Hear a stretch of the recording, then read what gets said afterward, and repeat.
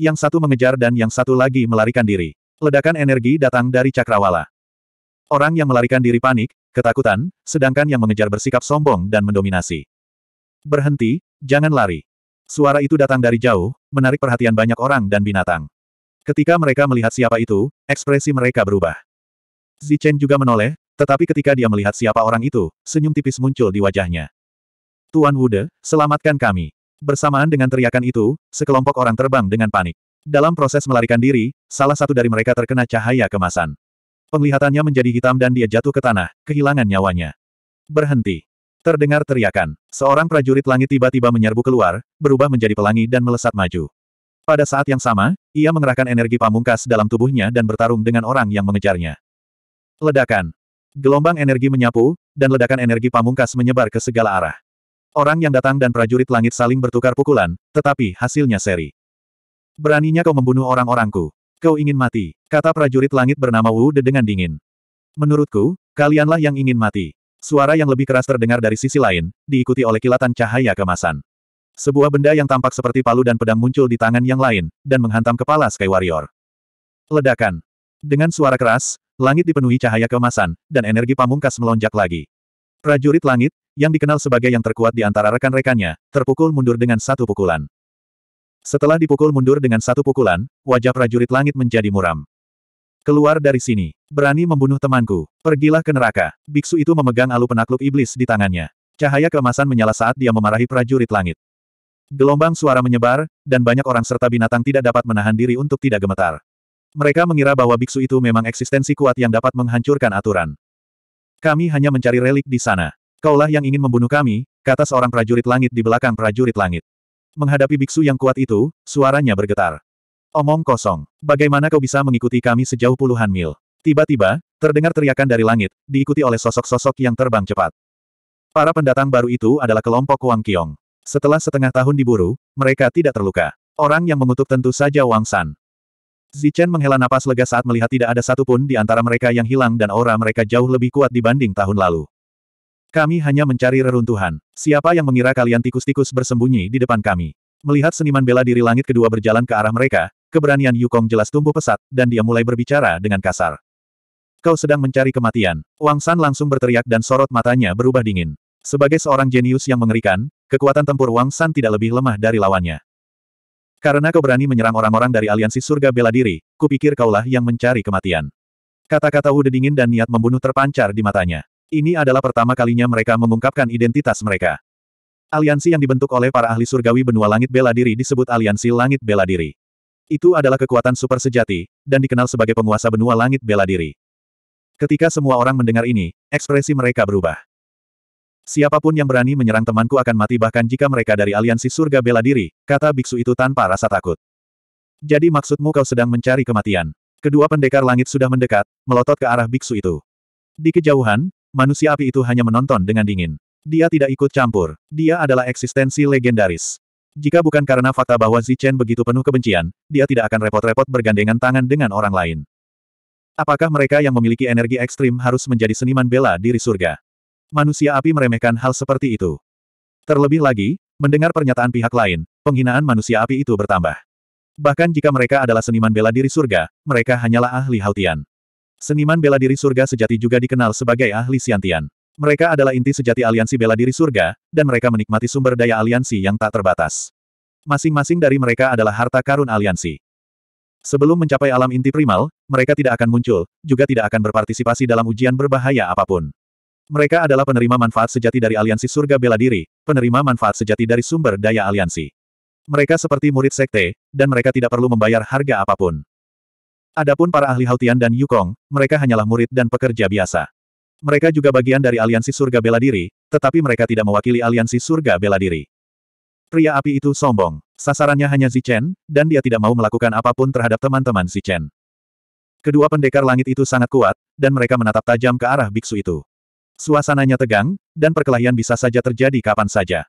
Zichen, kau tidak akan membantu. Barbarian Bull dengan hati-hati mengiriminya pesan. Zichen tersenyum acuh tak acuh dan menggelengkan kepalanya. Aku tidak akan pergi. Jika kamu bersedia, kamu bisa membantu.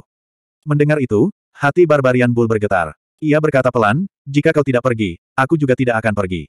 Mereka temanmu, bukan temanku. Zichen mengabaikan Barbarian Bull. Dia tersenyum sambil melihat ke depan. Karena kamu tidak akan pergi, kamu bisa tinggal di sini dan menonton pertunjukan. Mari kita lihat berapa banyak orang bodoh yang bersembunyi di kegelapan. Suasana menjadi semakin tegang. Pertarungan sengit bisa saja terjadi kapan saja. Pihak lain memiliki dua seniman bela diri surgawi dan lebih dari sepuluh Yukong. Untuk dapat bergabung dengan aliansi bela diri surgawi, kekuatan tempur Yukong secara alami tidak lemah. Sedangkan untuk pihak Wang Qiong, mereka hanya memiliki biksu, yang sebanding dengan seniman bela diri surgawi. Seolah-olah telah menerima semacam perintah, Yukong menjadi semakin tidak terkendali. Dia menunjuk hidung biksu itu dan berteriak, tikus terkutuk, tahukah kau siapa kami? Kami dari Aliansi Surga Bela Diri, Aliansi Surga Bela Diri yang agung dan perkasa. Kami memiliki status bangsawan, jadi bagaimana mungkin kami bisa mengikuti tikus sepertimu? Ekspresi Wang Qiong dan yang lainnya menjadi dingin. Namun, Yukong tampaknya tidak menyadarinya dan malah menjadi lebih agresif. Jarinya yang pendek hampir menusuk hidung biksu itu. Ekspresinya menjadi ganas saat dia berkata, Semut, buka mata anjingmu lebar-lebar dan lihat dengan jelas. Kita adalah surga. Ledakan. Sebelum Yukong sempat menyelesaikan ucapannya, gelombang energi yang mengerikan menyapu langit. Sebuah tongkat hitam pekat turun dari langit dan menghantam kepala Yukong. Sebuah ledakan dahsyat terdengar saat energi yang mengerikan melonjak keluar. Yukong yang sebelumnya sombong telah hancur berkeping-keping hanya dengan satu serangan. Adegan itu mengejutkan semua orang. Mereka tidak pernah membayangkan bahwa akan ada seseorang yang bersembunyi di langit, seseorang yang berani menyerang orang-orang aliansi langit bela diri. Hehe, apakah aliansi surga bela diri sangat kuat? Sosok kera iblis yang besar muncul, memegang tongkat hitam yang dipenuhi rune. Mata merahnya memancarkan cahaya dingin. Yukong yang sombong itu hancur berkeping-keping. Daging dan darahnya berceceran di Yukong di sampingnya. Melihat kera iblis yang begitu ganas, Yukong yang lain dipenuhi dengan ketakutan. Mereka buru-buru mundur. Sebelumnya, mereka begitu senang dengan diri mereka sendiri sehingga mereka hampir mencapai biksu itu. Sudah terlambat bagimu untuk pergi sekarang. Kera iblis itu mencibir dan mengangkat tongkatnya. Energi mengerikan melonjak dari tongkat itu, dan menghantam Yukong di depannya. Yukong lainnya hancur berkeping-keping. Berikutnya adalah Yukong yang ketiga. Pada saat para prajurit langit bereaksi untuk menghadang kera iblis, tiga Yukong telah hancur berkeping-keping. Sedangkan yang lainnya, mereka dipenuhi dengan ketakutan. Beranikah kau menyerang kami di depan mata kami? Mau mati saja. Dua seniman bela diri surga mengamuk. Tepat saat mereka hendak menyerang, niat membunuh yang mengerikan melonjak. Cahaya pedang yang tajam muncul di langit, menebas ke arah salah satu seniman bela diri surga. Ekspresi seniman bela diri surga itu berubah. Energinya melonjak, membentuk satu penghalang demi satu. Pada saat yang sama, tubuhnya berubah menjadi cahaya saat dia menghindar ke samping. PFT. Cahaya pedang menyala, dan darah berceceran. Salah satu jantung Yukong tertusuk. Ia jatuh ke tanah, nyawanya terkuras habis. Sasaran lawannya bukanlah dirinya. Sang seniman bela diri surga merasa seperti telah kehilangan muka, dan ia menyalahkan dirinya sendiri karena bereaksi terlalu cepat. Tiba-tiba, niat membunuh yang baru saja menghilang muncul kembali. Kali ini, bahkan lebih tajam. Niat membunuh yang menusuk tulang langsung menyerang ruang di antara kedua alisnya. Teriak kultivator tingkat Tian. Dia sekali lagi mengedarkan energinya dan seluruh tubuhnya memancarkan cahaya yang cemerlang. PFT. Cahaya berdarah yang sama kembali terpancar. Tak jauh dari situ, salah satu anak buah Yukong tewas. Itu adalah pembunuhan satu kali, dan sosok itu sekali lagi bersembunyi di kehampaan. Suasana hening. Mata semua orang tanpa sadar menatap ke arah seniman bela diri surga. Ekspresi mereka aneh. Mereka tidak mengerti mengapa dia bereaksi begitu keras. Hanya sang seniman bela diri surga sendiri yang tahu bahwa orang yang ahli dalam pembunuhan itu telah mencoba membunuhnya dua kali berturut-turut. Astaga! Niat membunuh yang tajam muncul untuk ketiga kalinya, dan cahaya pedang menyala lagi. Lagi. Teriak pendekar tingkat Tian. Ia berlari ke arah orang terakhir yang berteriak, ingin melindunginya. Namun saat dia baru saja berada di udara, ekspresinya tiba-tiba berubah dan dia segera menghindar ke samping. Cahaya pedang menyala, dan luka dalam muncul di bahu seniman bela diri langit. Darah mengalir keluar dari luka, dan seluruh lengannya hampir terputus. Setelah ditipu tiga kali berturut-turut, ekspresi seniman bela diri surga sangat suram. Dia menatap ke depan dengan penuh kebencian. Namun, pembunuh itu telah bersembunyi setelah serangan itu dan tidak muncul lagi. Hanya biksu dan kera pertempuran pemecah langit yang tetap berdiri di depannya. Kamu berani menyerang orang-orang dari aliansi bela diri surga. Hari ini adalah hari kematianmu, kata seniman bela diri surga yang telah dilukai oleh Zhang Haotian. Dari empat orang yang telah menghancurkan hukum, tiga orang telah muncul. Semua orang menduga bahwa Zi Chen juga telah muncul. Tatapan mata pria api itu berubah dingin. Dia melihat ke atas, tetapi dia tidak berniat untuk mendekat. Adapun empat orang ahli lain yang setingkat dengan seniman bela diri surga, mereka berjalan mendekat dengan ekspresi tidak ramah. Pada saat yang sama, gelombang energi yang kuat muncul di cakrawala. Satu demi satu ahli ras iblis terbang di atas. Yang di depan adalah Long Xing. Matanya dipenuhi dengan niat membunuh. Di belakangnya ada sekelompok ahli ras iblis. Jika jubah mereka tidak robek, maka mereka terluka. Mereka dalam kondisi yang menyedihkan. Selama setengah tahun, mereka mengejar Wang Qiong dan yang lainnya, bertindak sebagai mitra tanding LFV Peng. Setelah setengah tahun, ras iblis telah kehilangan setengah dari jumlah mereka. Dapat dikatakan bahwa kerugian mereka sangat besar. Hari ini, tak seorang pun dari kalian akan keluar hidup-hidup. Teriak Longsing saat melihat Wang Qiong dan yang lainnya. 562. Mereka yang menaruh dendam terhadap Zichen semuanya hadir. Empat dari mereka adalah kultivator tingkat langit, dua adalah kultivator tingkat langit, dan satu adalah manusia naga. Selain itu, ada juga banyak kekuatan lain di langit. Lari. Bukankah kalian semua jago lari? Kenapa kalian tidak lari? Longsing berjalan ke arah mereka, niat membunuh terpancar di matanya. Zichen telah membunuh saudaranya, dan dia ingin membalas dendam. Sayangnya, Zichen telah menghilang, jadi dia memilih cara terbaik berikutnya, dan membunuh teman-teman Zichen terlebih dahulu. Namun siapa yang mengira bahwa akan ada ahli formasi misterius di antara mereka, yang menyebabkan mereka menderita kerugian besar dalam enam bulan terakhir. Kelompok monster itu semuanya dalam keadaan menyedihkan. Beberapa dari mereka bahkan terluka. Pada saat ini, mereka menatap Wang Qiong dan yang lainnya dengan kebencian di mata mereka. Tyrant dan si kera iblis berdiri berdampingan. Di belakang mereka ada Wang Qiong dan yang lainnya. Sedangkan Zhang Haotian, dia sudah bersembunyi. Dia tidak akan pernah bertarung secara langsung. Kalian hanya sekelompok orang barbar. Beraninya kalian membunuh orang-orang kami. Jangan pernah berpikir untuk pergi hari ini, kata Long Xing dengan dingin. Dia telah mengetahui nama dan identitas Chen dari para penguasa kota kekacauan. Niat membunuh di sekitarnya semakin membara. Para kultivator kuat mendekat sementara yang lain mengepung mereka. Pertarungan bisa terjadi kapan saja. Yang lain dan binatang buas menghindarinya, bersembunyi di kejauhan untuk menonton. Kau tidak akan menyerang. Barbarian Bull menatap Zichen dengan curiga. Wajah Zichen menjadi sangat muram. Semua orang telah muncul dan bersikap agresif. Dia tentu saja harus menyerang. Namun pada saat ini, tatapan dingin mendarat padanya. Itu adalah pria yang terbakar di kejauhan. Seolah telah menebak identitasnya, pria yang terbakar itu menatap langsung ke arahnya, ekspresinya berubah. Pria yang terbakar itu sangat kuat. Bahkan jika Zichen telah memperoleh warisan klan petir, dia tidak dapat menjamin bahwa dia dapat membunuhnya. Pada saat ini, pria yang terbakar itu pasti akan menyerang. Zichen ragu-ragu. Haruskah dia mengungkapkan identitasnya sekarang? Di sisi lain, menghadapi kelompok kultivator kuat yang agresif, kera iblis pemarah itu tidak tahan lagi. Dia mengepalkan tongkat hitam pekatnya dan mengangkatnya tinggi-tinggi, lalu dengan cepat mengayunkannya ke bawah. Ledakan. Di tengah energi yang melonjak, pertempuran pecah dalam sekejap. Kera iblis memegang tongkat hitam erat-erat di tangan kanannya sementara sinar cahaya berlama-lama di sekitar tangan kirinya. Ia melambaikan telapak tangannya ke arah pembangkit tenaga listrik. Pada saat berikutnya, para kultivator tingkat langit merasa seolah-olah ada lapisan pengekangan di tubuh mereka. Baik itu kecepatan atau kecakapan bertarung mereka, mereka sangat lemah. Perasaan terkekang ini hanya berlangsung sesaat. Namun dalam pertarungan antara para kultivator kuat, momen ini adalah kuncinya. Momen ini cukup bagi kera iblis untuk melancarkan serangan terkuatnya. Ledakan. Suara ledakan menggelegar terdengar saat ahli itu terlempar oleh kera iblis. Namun, pada saat kritis, ahli itu mengangkat penghalang cahaya pertahanan. Dia hanya batuk darah dan tidak terbunuh. Ledakan. Pada saat yang sama, Tyrant juga melancarkan serangan. Tongkat penakluk iblis memancarkan cahaya keemasan dan menghantam ke depan, langsung menjatuhkan seorang prajurit langit ke belakang. Suara mendesing. Zhang Haotian, yang bersembunyi di kehampaan, melancarkan serangan mematikan. Niat membunuh yang membabi buta terpancar keluar, menyebabkan ekspresi seorang ahli berubah drastis. Dia buru-buru menghindar, tetapi saat niat membunuh meningkat, serangan Zhang Haotian mendarat. Pelindung bahunya tertusuk pedang batu dan darah segar mengalir keluar dari lukanya. Tiga orang, tiga serangan, dan tiga ahli terlempar ke belakang. Dapat dilihat bahwa warisan kali ini telah meningkatkan kecakapan bertarung mereka. Mereka sudah mampu menekan para kultivator tingkat langit. Membunuh. Pertarungan dimulai karena serangan dari ketiga orang itu. Teriakan perang langsung terdengar. Semua ahli lainnya memegang senjata ramuan mereka, bersiap untuk membunuh Wang Qiong dan yang lainnya. Para ahli lainnya juga melancarkan serangan mereka, di antaranya Long Xing adalah yang terkuat. Melihat kejadian ini, pupil mata Chen mengecil. Niat membunuh yang tajam muncul di sekelilingnya. Dia tidak lagi tinggal diam dan siap untuk menyerbu dan membunuh. Aura Chen berubah, menyebabkan ekspresi pria api itu berubah. Senyum kejam muncul di sudut mulutnya, dan dia hendak menyerang.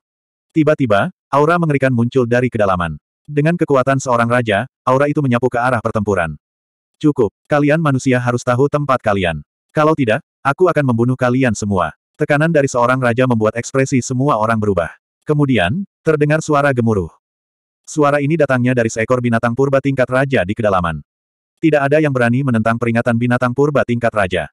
Meskipun para ahli tidak mau dan ekspresi mereka berubah, mereka tetap menarik kembali niat membunuh mereka di saat berikutnya. Si kera iblis mencibir. Tongkat hitam di tangannya melonjak, dan dia melambaikannya sebagai unjuk kekuatan. Jika itu pertarungan satu lawan satu, dia yakin bisa membunuh seorang kultivator tingkat langit.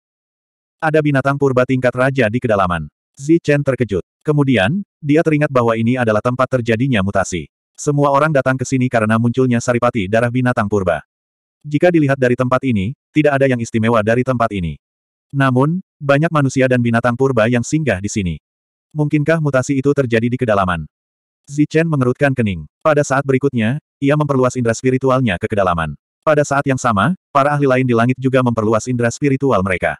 Dalam sekejap, banyak indera spiritual meluas ke kedalaman. Begitu banyak binatang purba tingkat raja. Saat indera spiritualnya menyelidiki, ekspresi Zichen langsung berubah. Sebelumnya, hanya seekor binatang purba tingkat raja yang berbicara. Zichen mengira hanya ada satu binatang purba tingkat raja di kejauhan. Namun, dengan indera spiritualnya, Zichen melihat tidak kurang dari sepuluh dari mereka. Di antara mereka adalah macan tutul iblis tua.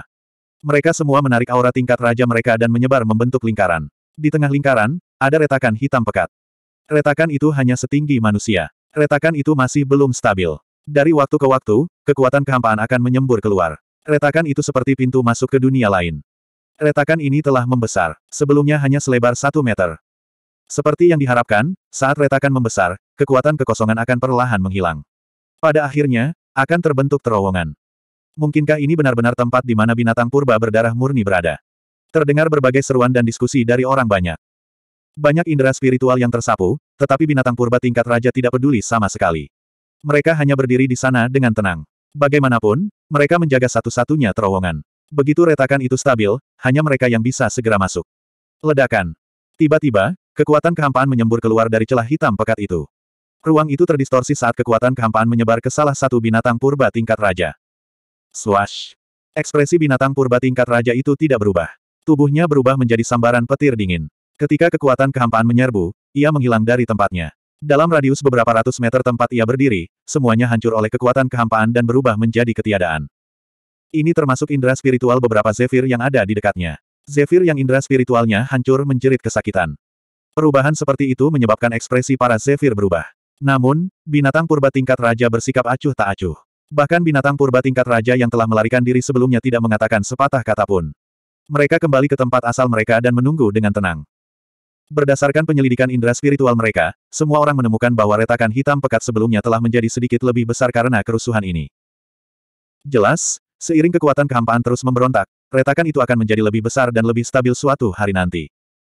Waktu berlalu sementara mereka menunggu. Dengan peringatan binatang purba tingkat raja, para ahli tentu saja tidak berani bertarung dengan santai. Mereka menahan diri. Namun, dendam antara kedua belah pihak tidak dapat diselesaikan dengan mudah.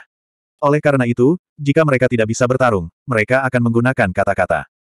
Hal ini terutama berlaku bagi Zephyr dari ras iblis. Mereka telah menderita kerugian besar dalam setengah tahun terakhir.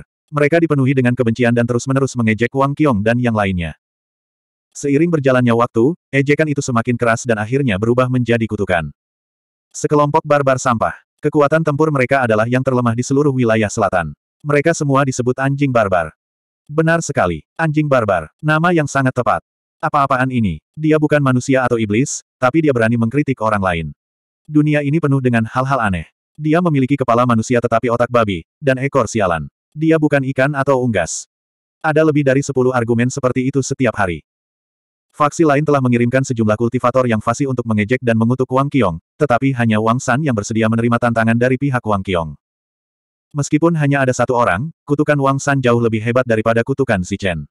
Dia bertarung melawan lebih dari sepuluh orang dan tidak kehilangan satupun. Itu adalah kemenangan telak. Para ahli sangat marah hingga ingin muntah darah. Namun, mereka tidak dapat berbuat apa-apa. Jika kau sanggup, ikutlah denganku ke tempat yang jauh untuk bertarung. Ketika dia benar-benar marah, pihak lain akan menantangnya untuk bertarung. Bodoh. Kalau kita bertarung satu lawan satu, aku bisa mengalahkan kalian semua. Wang San mengerucutkan bibirnya. Matanya penuh dengan penghinaan. Dalam sekejap mata, lima hari telah berlalu. Semua orang sudah terbiasa dengan pertengkaran antara kedua belah pihak. Jika mereka tidak mendengarnya selama sehari, mereka akan merasa ada sesuatu yang hilang. Kadang-kadang, Wang San, yang sedang bersenang-senang, akan berdiri dengan bangga seperti seorang jenderal yang menang. Dia menatap para ahli di langit dan kemudian menunjuk seorang ahli tingkat Tian dengan jijik. Dia berkata, Bajingan, seorang ahli tingkat Tian, kan? Apakah kamu sekuat itu? Jika kamu memiliki kemampuan, datanglah dan bertarunglah dengan kera iblis. Mari kita bertarung sampai mati. Aku jamin bahwa aku akan memukulmu sampai mati dengan tongkatku. Kera iblis itu sangat kooperatif dengan kata-kata Wang San. Ia berdiri dan mengarahkan tongkat hitamnya ke ahli tingkat Tian dengan provokatif. Yang terakhir sangat marah sehingga ia ingin muntah darah. Namun, tidak ada seorang pun yang berani menentang peringatan Raja Binatang itu. Selain itu, seiring berjalannya waktu, retakan itu semakin membesar. Aura ganas yang muncul darinya semakin kuat. Sepuluh hari kemudian, seluruh retakan berhenti mengeluarkan energi hampa dan menjadi stabil. Kelompok binatang raja tinggal di sana dan menunggu dua hari lagi. Ledakan. Pada hari ketiga, gelombang kekuatan dahsyat meletus dari retakan itu. Di dalam kekuatan dahsyat ini, ada eksistensi yang sebanding dengan kekuatan surga. Merasakan aura surgawi, mata semua binatang buas raja berbinar. Itu adalah aura yang hanya bisa dilepaskan oleh binatang purba berdarah murni. Ketika lorong itu terbentuk, terjadilah getaran yang sangat besar. Suaranya tidak lebih lemah daripada ketika aturan itu muncul. Hal itu segera membangunkan binatang purba yang sedang tertidur lelap. Itu aura binatang purba berdarah murni. Benar-benar ada binatang purba berdarah murni. Mungkinkah lorong yang tersisa adalah dengan binatang purba berdarah murni? 563. Getaran yang tidak lebih lemah dari kemunculan aturan mengejutkan binatang purba itu. Merasakan tekanan binatang purba berdarah murni, mereka memiliki berbagai macam tebakan tentang apa yang terjadi di balik retakan itu. Mungkin satu-satunya jalan keluar adalah di balik celah itu. Mereka tidak bisa lagi tetap tenang dan muncul satu demi satu. Tekanan binatang purba berdarah murni. Di samping kolam hitam, sesepuh itu juga muncul segera setelah merasakan getaran itu. Tatapannya yang dalam menembus kehampaan dan menatap celah di kehampaan itu untuk waktu yang lama tanpa mengucapkan sepatah kata pun. Huh, ayo kita lihat. Aku merasa sesuatu akan terjadi. Setelah beberapa lama, dia mendesah pelan dan menghilang dari tempatnya. Saat berikutnya, seluruh kolam hitam mulai bergetar hebat, memercikkan tetesan air hitam. Merasakan keganasan binatang purba berdarah murni, para raja binatang purba sangat bersemangat. Tanpa ragu, mereka bergegas ke celah itu segera setelah terbentuk. Dalam sekejap cahaya, dalam waktu kurang dari satu tarikan napas, selusin raja binatang purba menghilang ke dalam celah. Begitu binatang buas tingkat raja menghilang, kehampaan mulai bergetar. Kemudian, satu demi satu binatang buas besar muncul. Mereka juga binatang buas tingkat raja. Setelah muncul dari kehampaan, mereka bergegas menuju lorong. Hanya dalam beberapa tarikan napas, lebih dari 20 Raja Binatang Purba telah memasuki celah itu. Retakannya telah terbuka. Raja-raja binatang purba telah masuk. Ayo kita masuk juga. Ada tekanan dari binatang purba berdarah murni. Mungkin benar-benar ada binatang purba berdarah murni di dalam. Ayo cepat masuk. Manusia di langit yang terus-menerus merasakan retakan itu berseru. Setelah raja-raja binatang purba menghilang, mereka membentuk kelompok dan bergegas ke dalam retakan. Orang-orang barbar, sebaiknya kalian tidak masuk. Kalau tidak, aku akan membuatmu berharap mati saja. Beberapa prajurit alam surgawi dan beberapa kultivator kuat lainnya hendak masuk, tetapi sebelum itu, seorang kultivator kuat mengancam mereka. Benar sekali. Jika kau berani masuk, aku akan memastikan kau tidak akan bisa kembali, kata Long Xing dingin.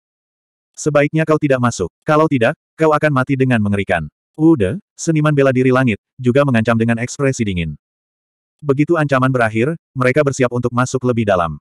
Tiba-tiba, terdengar suara dingin dari belakang mereka. Karena kita akan mati mengenaskan jika masuk, mengapa kita tidak masuk saja?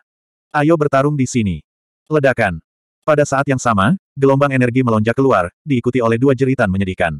Kedua Zephyr terbunuh dalam satu serangan, kehilangan vitalitas mereka dan jatuh ke tanah. Adapun Zephyr lainnya yang bersiap untuk pergi, mereka dihentikan di udara oleh seorang asing. Dengan mengangkat tangannya, dua Zephyr terbunuh. Ekspresi mereka berubah, dan mereka tidak berani bergerak maju dengan gegabah. Siapa kamu? Beraninya kamu menyerang orang-orang kami. Berani sekali kamu. Melihat orang asing ini, Wu De bertanya dengan dingin. Zichen berdiri di udara dan langsung memulihkan penampilannya. Cahaya dingin melintas di matanya. Itu kamu, Zichen. Kamu, kamu.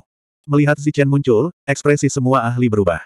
Adapun Wang Qiong dan yang lainnya, mereka tersenyum tipis. Jelas, mereka sudah tahu identitas Zichen. Karena kau sangat ingin membunuh kami, kami juga tidak ingin membiarkanmu hidup. Karena ada dendam yang begitu besar di antara kita, mari kita selesaikan semua dendam kita hari ini, kata Zichen dingin. Apa? Yang lainnya tercengang. Menyelesaikan semua dendam mereka di sini dan sekarang. Sungguh lelucon. Mereka akan menemukan binatang purba berdarah murni di celah itu. Kemunculan Zichen menimbulkan sedikit keributan. Namun dibandingkan dengan retakan, yang terakhir jelas lebih penting. Oleh karena itu, meskipun mereka tahu akan ada pertempuran besar, tidak ada binatang purba atau manusia yang bersedia tinggal dan menonton. Kecuali Zephyr dari pasukan lawan, semua orang dan binatang buas bergegas masuk ke celah pada saat pertama. Melihat begitu banyak binatang purba dan manusia menyerbu ke dalam celah, para Zephyr merasa cemas. Namun, Zichen dan yang lainnya telah menghentikan mereka dan mengambil posisi bertarung. Hampir mustahil bagi mereka untuk menyerbu masuk. Baiklah, Kita akan selesaikan semua dendam kita hari ini. Mata Longsing dipenuhi dengan niat membunuh. Kemudian, dia melompat ke udara dan memimpin sekelompok monster menuju Zichen. Membunuh. Zichen menatap lawannya dengan niat membunuh di matanya. Begitu dia selesai berbicara, si kera iblis bergegas menuju lawannya. Tongkat hitam di tangannya mulai menari, dan aura mengerikan menyapu langit. Longsing memang kuat, tetapi kera iblis yang telah menerima warisan itu juga tidak lemah. Ia cukup kuat untuk melawannya. Keduanya bertarung sengit di udara. Ledakan dahsyat terdengar terus-menerus. Selain si kera iblis, Wang Qiong dan yang lainnya juga bergegas menuju Zephyr lainnya. Setelah setengah tahun diburu, mereka telah menahan amarah di hati mereka. Sekarang, semuanya tercurah. Jeritan melengking terdengar di saat berikutnya. Begitu pertempuran dimulai, sudah ada korban di pihak Zephyr. Wang Qiong dan yang lainnya semuanya monster. Ada juga Zhang Haotian, yang sesekali memberikan dukungan. Pertempuran sengit ini perlahan berubah menjadi pembantaian. Mengapa mereka bertengkar begitu saja? Melihat Zephyr bertarung dengan pihak lain, Wood terdiam. Ekspresinya berubah, dan dia ragu-ragu. Dia berada dalam dilema. Jika kalian tidak bertindak sekarang, kapan kalian akan menunggu? Long Xing, yang sedang melawan kera iblis, berteriak ketika dia melihat yang lain tidak bertindak. Haruskah kita bertarung atau pergi? Prajurit tingkat langit di sebelahnya menatap Wood. Keempat makhluk lain yang sebanding dengan prajurit tingkat langit juga memandang Wood. Jelas, mereka tidak dapat membuat keputusan. Melihat pertempuran sepihak dan Longsing, yang ditekan oleh iblis kera, Wood merenung sejenak dan berkata dengan dingin, ayo pergi. Cepat masuk ke lorong celah. Mengenai si idiot ini, kita tidak perlu peduli padanya. Setelah mengatakan itu, Wood bergegas menuju celah itu. Para ahli lainnya mengikuti satu demi satu. Kemudian, mereka mengikuti di belakang. Mereka tidak saling kenal sebelumnya dan tidak saling mengenal. Mereka hanya berkumpul karena Zichen. Sekarang Longsing bertarung dengan orang-orang barbar karena alasan egoisnya sendiri, mereka tentu saja tidak akan menyerahkan jalur keretakan itu untuk Longsing. Sialan, mereka semua pergi. Longsing, yang sedang melawan kera iblis, mengutuk ketika dia melihat semua orang telah meninggalkannya dan memasuki celah itu. Dia sangat marah. Kemudian dia berteriak, cepat mundur. Masuk ke celah lorong. Jelas, Longsing bukan orang bodoh. Dia tahu bahwa Zichen dan yang lainnya sangat kuat. Mustahil membunuh mereka hanya dengan orang-orang ini. Terlebih lagi, mereka bahkan mungkin mati di sini. Namun, bagaimana mungkin Zichen dan Tyron membiarkannya begitu saja? Mereka segera menyerang, diikuti oleh serangkaian ledakan energi. Hampir empat eksistensi yang sebanding dengan prajurit tingkat langit bergandengan tangan. Pertarungan itu tentu saja berat sebelah. Ketika Longsing melarikan diri ke lorong retakan, dia telah menderita cedera yang tak terbayangkan. Dia segera menelan pil harta karun dan bergegas ke lorong retakan. Para prajurit ras monster yang dibawanya semuanya terbunuh di luar. Membunuh. Zichen dan yang lainnya dengan cepat mengejar mereka dan bergegas ke celah lorong. Long Xing telah mengirim orang untuk mengejar Wang Qiong dan yang lainnya selama setengah tahun. Meskipun mereka tidak menderita kerugian besar, mereka menyerang teman-temannya karena dendam mereka sendiri. Dapat dikatakan bahwa mereka telah menyentuh batas bawah Si Chen dan benar-benar membuatnya marah. Long Xing telah menjadi target yang harus dibunuhnya. Di balik celah itu ada ruang independen, seperti dunia kecil. Begitu Zichen dan yang lainnya masuk, mereka merasakan tekanan binatang purba di udara. Tekanan ini membuat mereka merasa sangat tidak nyaman. Lihat, dia ada di sana. Begitu mereka tiba, Wang San melihat Long Xing, yang melarikan diri dengan cepat. Mati. Tatapan mata dingin Zi Chen menyapu Long Xing. Dengan sebuah pikiran, cahaya perak cemerlang bersinar di punggungnya, dan sayap petir surgawi pun muncul. Sayap di punggungnya bergetar, dan cahaya perak cemerlang bersinar di sekelilingnya. Dia bergegas menuju Long Xing, seolah-olah dia telah berteleportasi. Detik berikutnya, Zi Chen sudah ada di depannya. Di bawah tatapan terkejut pihak lain, Zichen meninju. Cahaya kemasan bersinar, dan pukulan mendominasi ini mendarat di tubuh pihak lain, menyebabkan ledakan. Energi yang melonjak-melonjak, Long Xing menangkis serangan ini dan tidak terluka. Namun, tubuhnya melambat dan dia dipaksa mundur puluhan langkah oleh Zichen. Kau, wajah Long Xing dipenuhi dengan keterkejutan, tetapi pada saat berikutnya, keterkejutan itu berubah menjadi kegilaan dan keputusasaan. Tiran dan kera iblis sudah menyusul. Ketiganya mengepung Long Xing. Khawatir Long Xing akan melakukan serangan balik sebelum dia meninggal, Zichen tidak membiarkan Wang Qiong dan yang lainnya datang. Sudah kubilang, semuanya sudah berakhir. Suara Zichen terdengar dingin. Sekalipun aku mati, aku akan menyeretmu bersamaku. Ekspresi Long Xing tampak menyeramkan dan gila. Selain mereka, tidak ada orang lain di sekitarnya. Jelas, tidak ada orang lain yang bisa menolongnya. Para ahli alam surga telah menyerbu ke kedalaman, jadi dia harus mempertaruhkan nyawanya. Karena satu kesalahan saja, dia telah menyebabkan kematian semua ras monster. Sekarang, dia juga harus membayar harga yang mahal untuk kesalahan itu. Kekuatan Long Xing sangat kuat, dan Long Xing yang putus asa menjadi semakin gila. Bahkan dengan mereka berempat bekerja sama, dia bertahan untuk waktu yang lama. Di antara mereka, Long Xing bahkan telah berhasil keluar dari pengepungan beberapa kali, tetapi Zichen telah menyusulnya dengan kecepatan ekstrimnya dan mengirimnya kembali. Pada akhirnya, Long Xing tidak sebanding dengan mereka berempat. Banyak luka muncul di tubuhnya, dan bagian yang paling fatal adalah dadanya. Setelah menerima serangan mematikan dari Zhang Haotian, matanya melebar saat dia jatuh ke dalam genangan darah. Pada titik ini, semua manusia naga dari gurun telah tewas di tangan si Chen. Lebih jauh lagi, 90% ras monster yang mereka bawa telah tewas. Semua ras monster dari tanah tandus telah musnah. Melihat mayat Long Xing, tidak ada yang merasa kasihan. Ekspresi semua orang dingin. Biksu itu bahkan maju untuk menjarah mayat itu. Ada cincin roh dan liontin luar angkasa. Di dalam liontin luar angkasa, ada banyak mayat binatang purba. Setelah membunuh Long Xing, kelompok itu melanjutkan perjalanan mereka. Kali ini, kelompok itu melakukan pencarian dan pembantaian ala karpet. Ke mana pun mereka lewat, mereka membunuh semua binatang purba yang mereka lihat. Dengan begitu banyak orang yang menjalani baptisan untuk meningkatkan kekuatan mereka, semakin banyak binatang purba yang mereka bunuh, semakin baik. Selain itu, ini adalah tempat pelatihan. Tidak ada yang namanya belas kasihan. Selama periode ini, tikus pemakan roh juga telah memimpin kelompok tersebut untuk menemukan banyak ramuan kuno. Saat mereka masuk lebih dalam, jejak pertempuran menjadi lebih jelas. Aura binatang purba di udara juga menjadi lebih kuat. Ledakan. Di langit terjadi ledakan energi, dan aura mengerikan seorang raja menyebar. Ini adalah pertarungan binatang purba tingkat raja. Mungkinkah ia menemukan sesuatu? Setelah merasakan aura binatang purba tingkat raja, Zichen dan yang lainnya terkejut. Setelah saling memandang, mereka mengikuti suara ledakan dan terbang maju. 564. Energi antara langit dan bumi terus melonjak, dan kekuatan para raja sepenuhnya ditampilkan. Ketika Zichen dan yang lainnya melihat kedua raja bertarung dengan sengit dari jauh. Salah satunya adalah anjing bertanduk tunggal, dan satunya lagi adalah ular petir. Anjing bertanduk tunggal itu sebesar gunung, dengan bulu coklat di sekujur tubuhnya. Cakarnya yang tajam dapat memecahkan batu dan menembus emas, dan tanduk di kepalanya sangat tajam. Ia memiliki kekuatan yang luar biasa. Setiap serangan yang dilancarkannya dapat menghancurkan gunung dan memusnahkan hutan kuno yang besar. Ular petir itu panjangnya ratusan meter, dan tubuhnya setebal tangki air. Tubuhnya ditutupi sisik perak halus, dan ketika bergerak di udara, ia seperti kilat perak yang mengamuk di antara langit dan bumi, melepaskan kilatan petir perak. Ledakan. Keduanya saling beradu, dan energinya terus melonjak. Gunung-gunung hancur, dan pohon-pohon berubah menjadi debu. Kekuatan dahsyat itu menciptakan gelombang kejut yang menyebar ke segala arah. Sungguh fluktuasi energi yang mengerikan. Semua orang berhenti beberapa mil jauhnya dan menonton dari jauh, tidak berani maju. Sebagai Raja Binatang Purba, kekuatan mereka sangat mengerikan. Di antara para pembudidaya manusia, tidak ada yang sebanding dengan mereka, termasuk manusia yang terbakar. Aku menemukan obat kuno. Ular petir, minggirlah. Dengan raungan yang keras, tanduk di dahi Unicorn Hound tiba-tiba menyala, dan aura yang membuat jantung orang berdebar-debar muncul. Setelah ini, seberkas cahaya tebal melesat keluar dari Unicorn Hound, membawa serta aura yang menakutkan saat melesat ke arah Lightning Snake. Huff, aku menemukannya, dasar anjing bertanduk tunggal yang tercela. Ular petir itu mengeluarkan suara dingin, dan sisik-sisik perak di tubuhnya bersinar, membentuk perisai pelindung. Pada saat yang sama, ekor ular itu seperti cambuk dewa, berubah menjadi petir perak, dan menghantam anjing bertanduk tunggal itu. Ledakan. Terjadi getaran hebat antara langit dan bumi. Unicorn Hound terlempar, dan luka berdarah panjang muncul di tubuhnya. Namun, sinar cahaya tebal yang ditembakkannya juga meninggalkan lubang berdarah yang dalam di tubuh Lightning Snake. Darah perak terus jatuh dari langit. Kedua raja binatang purba itu jelas sedang bertarung dengan sengit. Di medan perang, energi yang mengerikan melonjak, dan itu seperti pemandangan kehancuran. Berjuang untuk pengobatan kuno. Ketika Zichen dan yang lainnya mendengar ini, mereka bingung. Itu hanya obat kuno. Bahkan keturunan binatang purba berdarah murni tidak akan mempermasalahkannya.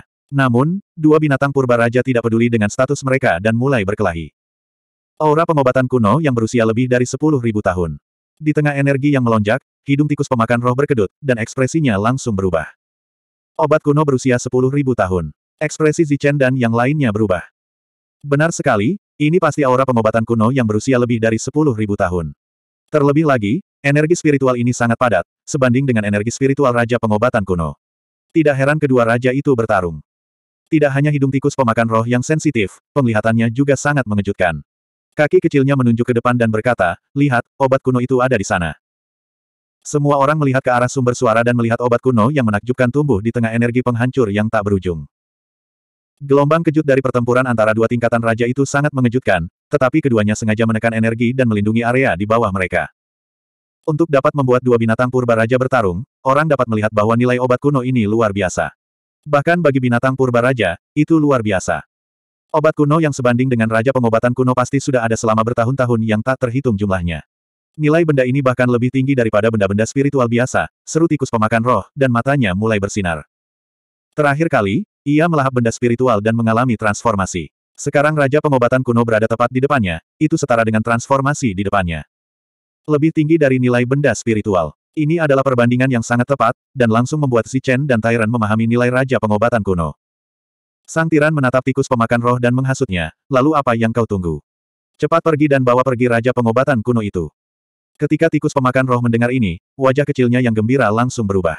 Ia berkata dengan tidak senang, apakah kau ingin aku mati? Itu adalah pertarungan antara dua binatang purba tingkat raja. Jika aku menggali ke dalam tanah, bahkan jika aku tidak mati karena gelombang kejut, aku akan dilenyapkan oleh mereka saat aku mencabut Raja Pengobatan Kuno. Jejak penghinaan muncul di mata sang tiran. Dia mengerutkan bibirnya dan berkata, tikus pemakan roh yang unik apa? Kau bahkan tidak bisa mendapatkan Raja Pengobatan Kuno. Sungguh sia-sia. Tikus pemakan roh sangat marah, tetapi ia tahu bahwa ia memiliki beberapa kemampuan.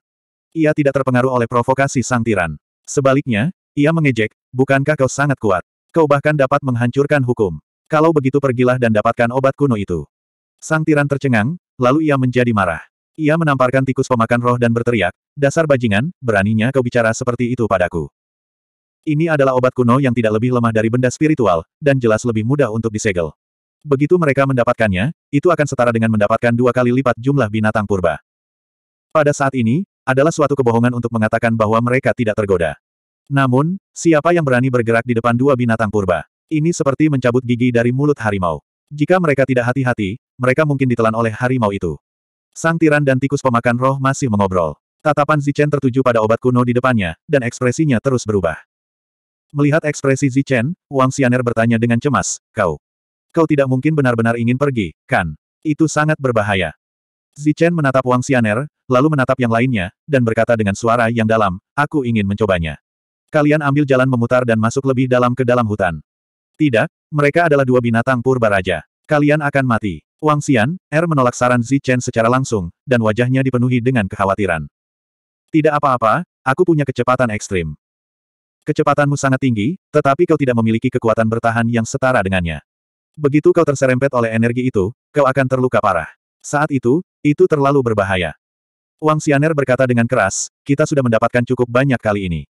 Tidak perlu mempertaruhkan nyawa kita untuk obat kuno. Selain itu, kita akan menyinggung dua binatang buas kuno karena itu. Perkataan Wang Xianer masuk akal. Tidak ada gunanya melakukan itu. Pada saat ini, semua orang juga menentang Zi Chen mempertaruhkan nyawanya. Ayo pergi. Karena ada Raja Pengobatan Kuno di sini, pasti ada yang kedua. Dengan tikus pemakan roh, hasil panen kita pasti tidak akan lebih lemah dari Raja Binatang Buas Kuno, kata Biksu dengan sungguh-sungguh. Benar sekali. Aku yakin bisa membawa kalian ke Raja Pengobatan Kuno lainnya. Kalian harus tahu bahwa akulah satu-satunya tikus pemakan roh, kata tikus pemakan roh dengan jenaka. Tidak perlu dikatakan lagi, aku tahu apa yang kulakukan. Kalian masuk lebih dalam sekarang, dan aku akan segera menyusul. Zichen masih bersikeras. Semua orang tidak berdaya, bahkan Wang Xianer tidak dapat membujuknya, apalagi mereka. Semuanya, ayo pergi. Aku percaya pada Zichen, Zhang Haotian, yang selalu bersikap dingin, tiba-tiba berkata. Tak berdaya, yang lain hanya bisa mengangguk dan memberi isyarat kepada Zichen agar berhati-hati. Kemudian, mereka berbalik dan pergi. Setelah tikus pemakan roh menjelaskan nilai benda-benda spiritual dan efek dari Raja Obat Kuno, suasana hati semua orang menjadi sangat berat. Jelas, Zichen bertekad untuk merebut Raja Obat Kuno ini sehingga semua orang bisa menjalani pembaptisan. Semua orang mundur dan mengambil jalan memutar ke kedalaman. Zichen menarik napas dalam-dalam dan menatap lurus ke depan. Tempat ini hanya dibuka sekali setiap seribu tahun, dan itu juga satu-satunya kesempatan dalam hidupnya untuk mencapai tempat ini. Tentu saja, dia tidak bisa melewatkannya. Selain itu, dia juga membutuhkan Raja Pengobatan Kuno ini agar semua orang bisa menjalani pembaptisan. Dan semakin banyak pembaptisan, semakin baik. Huf. Saat menghembuskan napas terakhirnya, sosok Zichen menghilang ke dalam kehampaan. Pada saat berikutnya, dia, yang tersembunyi di dalam kehampaan, melaju kencang menuju lokasi Raja Pengobatan Kuno. Petir muncul di bawah kakinya, memperlihatkan kecepatannya yang luar biasa. Ketika dia mencapai area tempat energi binatang purba raja berfluktuasi, sayap petir surgawi muncul di punggungnya. Saat sayap perak mengepak, kecepatan Zichen meningkat lagi. Dia telah muncul dari kehampaan dan berada di tengah-tengah energi penghancur dari Raja Binatang Purba. Dia seperti sebuah perahu tunggal di lautan badai yang dapat terkoyak oleh angin kencang dan ombak besar kapan saja. Mengandalkan kecepatannya yang ekstrim, sosok Zichen terus berubah saat ia mencoba melewati titik-titik lemah energi yang bergejolak. Dari sana, ia dengan lancar mendekati Raja Pengobatan Kuno. Penampilan Zichen tentu saja menarik perhatian kedua binatang purba raja itu. Namun, mereka tidak terlalu memperhatikannya. Bagaimanapun, mereka sangat jelas tentang kekuatan para pembudidaya manusia tingkat awal. Engah. Di tengah badai energi, Zichen telah maju 100 meter. Saat energi menjadi lebih bergejolak, dia secara tidak sengaja tersapu oleh energi tersebut dan langsung batuk darah. Saat darah emas samar itu muncul, darah itu berubah menjadi ketiadaan oleh energi yang mengamuk. Pada saat yang sama, lengan baju Zichen juga dihancurkan oleh energi yang merusak. Melewati energi yang dahsyat itu seperti menyeberangi jembatan kayu. Begitu seseorang kehilangan pijakannya, ia akan jatuh ke jurang tak berdasar dan akan dikutuk selamanya. Segala sesuatu terjadi dengan sangat cepat. Pada sayap perak, cahaya terus berkedip. Zichen berubah menjadi sinar cahaya perak dan melewati titik-titik lemah energi. Setelah batuk beberapa teguk darah segar, dia bergegas keluar dari energi yang bergejolak dan tiba di tempat di mana Raja Pengobatan Kuno berada. Raja Pengobatan Kuno itu tingginya satu kaki. Ia memancarkan cahaya terang dan energi spiritual yang kaya. Ia cantik dan menarik perhatian. Saat ia menghirup energi spiritual ke dalam perutnya, Zichen langsung merasakan bahwa luka-luka di tubuhnya telah melemah. Kemudian, matanya berbinar. Jelas, tangkai Raja Pengobatan kuno ini sebanding dengan pil harta karun bahkan tanpa dimurnikan. Oleh karena itu, tanpa sepatah kata pun, ia mengepakkan sayapnya dan muncul di depan Raja Pengobatan kuno dalam sekejap. Ia mengulurkan tangannya untuk meraih Raja Pengobatan kuno. Hah! Teriakan kaget terdengar di langit. Dua binatang purba raja yang sedang bertarung dengan sengit merasakan bahwa Zichen telah keluar dari energi yang bergejolak itu hidup-hidup. Oleh karena itu, mereka menundukkan kepala dan saling memandang. Mata mereka dipenuhi dengan keterkejutan. Dengan sekali pandang, mereka melihat sayap petir surgawi di punggung Zichen. Seketika, ekspresi mereka berubah. Itu dia, manusia yang menghancurkan aturan. Pertarungan hari itu sungguh sensasional. Hampir tidak ada binatang purba yang tidak mengenal Zichen dan tiga lainnya. Terlebih lagi, sayap petir surgawi di punggung Chen begitu istimewa. Meskipun ukurannya telah menyusut hingga 2 meter, mereka masih dapat mengenalinya sekilas. Namun, setelah keterkejutan itu, mereka menjadi marah. Ini karena mereka melihat Chen berdiri di samping Raja Obat Kuno. Selain itu, dia telah mengambil obat kuno dan tanah ke dalam labu emas ungu. Sialan, hentikan. Energi di langit tiba-tiba menjadi ganas. Tanduk di dahi anjing bertanduk itu memancarkan sinar cahaya yang tebal. Sinar itu membawa aura yang merusak saat melesat ke arah Zichen. Pada saat yang sama, tubuh ular petir itu memancarkan cahaya perak yang terang. Dalam sekejap, ia melepaskan ratusan baut petir perak. Sasarannya adalah Zichen. 565. Setelah menyimpan obat kuno itu, sayap di punggung Zichen mengepak sekali lagi. Dengan kecepatan yang sebanding dengan teleportasi, dia menghilang dari tempat asalnya. Ledakan. Sinar cahaya yang tebal dan menakutkan turun dari langit, langsung menenggelamkan tempat di mana Raja Pengobatan kuno berada. Saat energi melonjak, lubang sedalam 100 meter meledak terbuka di tanah. Energi tak terbatas menyapu lubang yang dalam itu, menyebar ke segala arah. Serangan ular petir itu juga meliputi area selebar 100 meter. Itu adalah serangan yang tidak pandang bulu. Daerah ini langsung diselimuti oleh energi penghancur. Belum lagi para peserta ujian manusia, bahkan binatang purba tingkat raja pun akan terluka oleh energi mengerikan itu jika mereka memasuki daerah ini dengan gegabah. Seperti yang diduga, darah kemasan samar berceceran di mana-mana. Manusia yang telah menyambar Raja Pengobatan kuno terluka. Namun, itu hanya luka. Pada saat berikutnya, yang terakhir mengepakkan sayapnya dan berubah menjadi sinar cahaya perak, melarikan diri ke kejauhan. Selama waktu ini, energi langit dan bumi masih melonjak liar. Akibatnya, Zichen sekali lagi terguncang hingga batuk darah. Namun, itu saja. Dengan sayap petir surgawi, kecepatannya telah mencapai batas yang sebenarnya. Bahkan binatang purba tingkat raja hanya bisa mencapai kecepatan ekstrim ini. Binatang purba tingkat raja yang tidak segera menyerang hanya sedikit tertegun. Mereka melihat bahwa manusia itu telah keluar dari jangkauan energi yang bergejolak. Setelah mencapai tepi jangkauan energi yang bergejolak, kecepatan manusia itu menjadi lebih dari dua kali lipat. Dalam sekejap mata, dia telah menghilang dari pandangan mereka. Segera setelah itu, dia menghilang dari indera spiritual mereka. Melihat manusia itu batuk darah sambil meningkatkan kecepatannya, kedua binatang purba tingkat raja itu benar-benar tercengang. Kemudian, mereka saling memandang. Pada akhirnya, mereka mengeluarkan raungan yang menggetarkan bumi dan mengejarnya. Namun, sangat disayangkan bahwa di ujung penglihatan dan indera spiritual mereka, tidak ada apa-apa. Manusia itu telah menghilang. Wang Qiong dan yang lainnya tidak pergi terlalu jauh. Ketika mereka mendengar raungan binatang purba tingkat raja, wajah mereka dipenuhi dengan kekhawatiran. Untungnya, Zichen menyusul mereka tidak lama kemudian. Bagaimana, ketika orang banyak yang khawatir melihat Zichen kembali, mereka tidak dapat menahan diri untuk bertanya. Itu mudah. Senyum muncul di wajah Zichen. Namun, begitu dia selesai berbicara, dia batuk darah lagi. Wajahnya menjadi pucat dan dia hampir pingsan. Semua orang terkejut dan segera mendukung Zichen. Aku baik-baik saja. Ini hanya kejutan energi. Aku akan segera pulih, kata Zichen dengan acuh tak acuh. Sekarang setelah kita mendapatkan Raja Pengobatan Kuno, kita tidak bisa tinggal di sini lebih lama lagi. Kita harus segera pergi. Kalau tidak, akan terlambat ketika kedua Raja Binatang Buas kuno itu menyusul, kata Zichen. Semua orang bertanya lagi dan lagi dan mendapat jawaban positif. Setelah memastikan bahwa luka Zichen tidak serius, mereka mempercepat perjalanan. Tepat seperti dikatakan Zichen, kedua Raja Binatang kuno telah menyusul mereka segera setelah mereka melarikan diri. Sementara Zichen berlari dengan kecepatan tinggi, ia perlahan pulih dari cederanya. Setelah berlari selama satu jam, cederanya sembuh total. Kemampuan pemulihan yang luar biasa itu juga membuat orang banyak berdecak kagum. Mereka tidak bisa tidak mengagumi kekuatan fisik Zichen. Karena mereka khawatir binatang buas kuno tingkat raja akan mengejar mereka, di bawah bimbingan tikus pemakan roh, kelompok itu sengaja mengambil jalan memutar sebelum perlahan memasuki kedalaman. Hanya untuk seorang raja pengobatan kuno, mereka tidak percaya bahwa dua raja binatang kuno akan mengejar mereka ke seluruh dunia dan melepaskan kesempatan bagus untuk menjelajahi kedalaman. Dugaan Zichen benar. Kedua Raja Binatang Purba itu langsung menuju ke dasar laut. Selama waktu itu, mereka tidak menemukan jejak Zichen, jadi mereka tidak kembali untuk mencarinya. Sebaliknya, mereka langsung menuju ke dasar laut.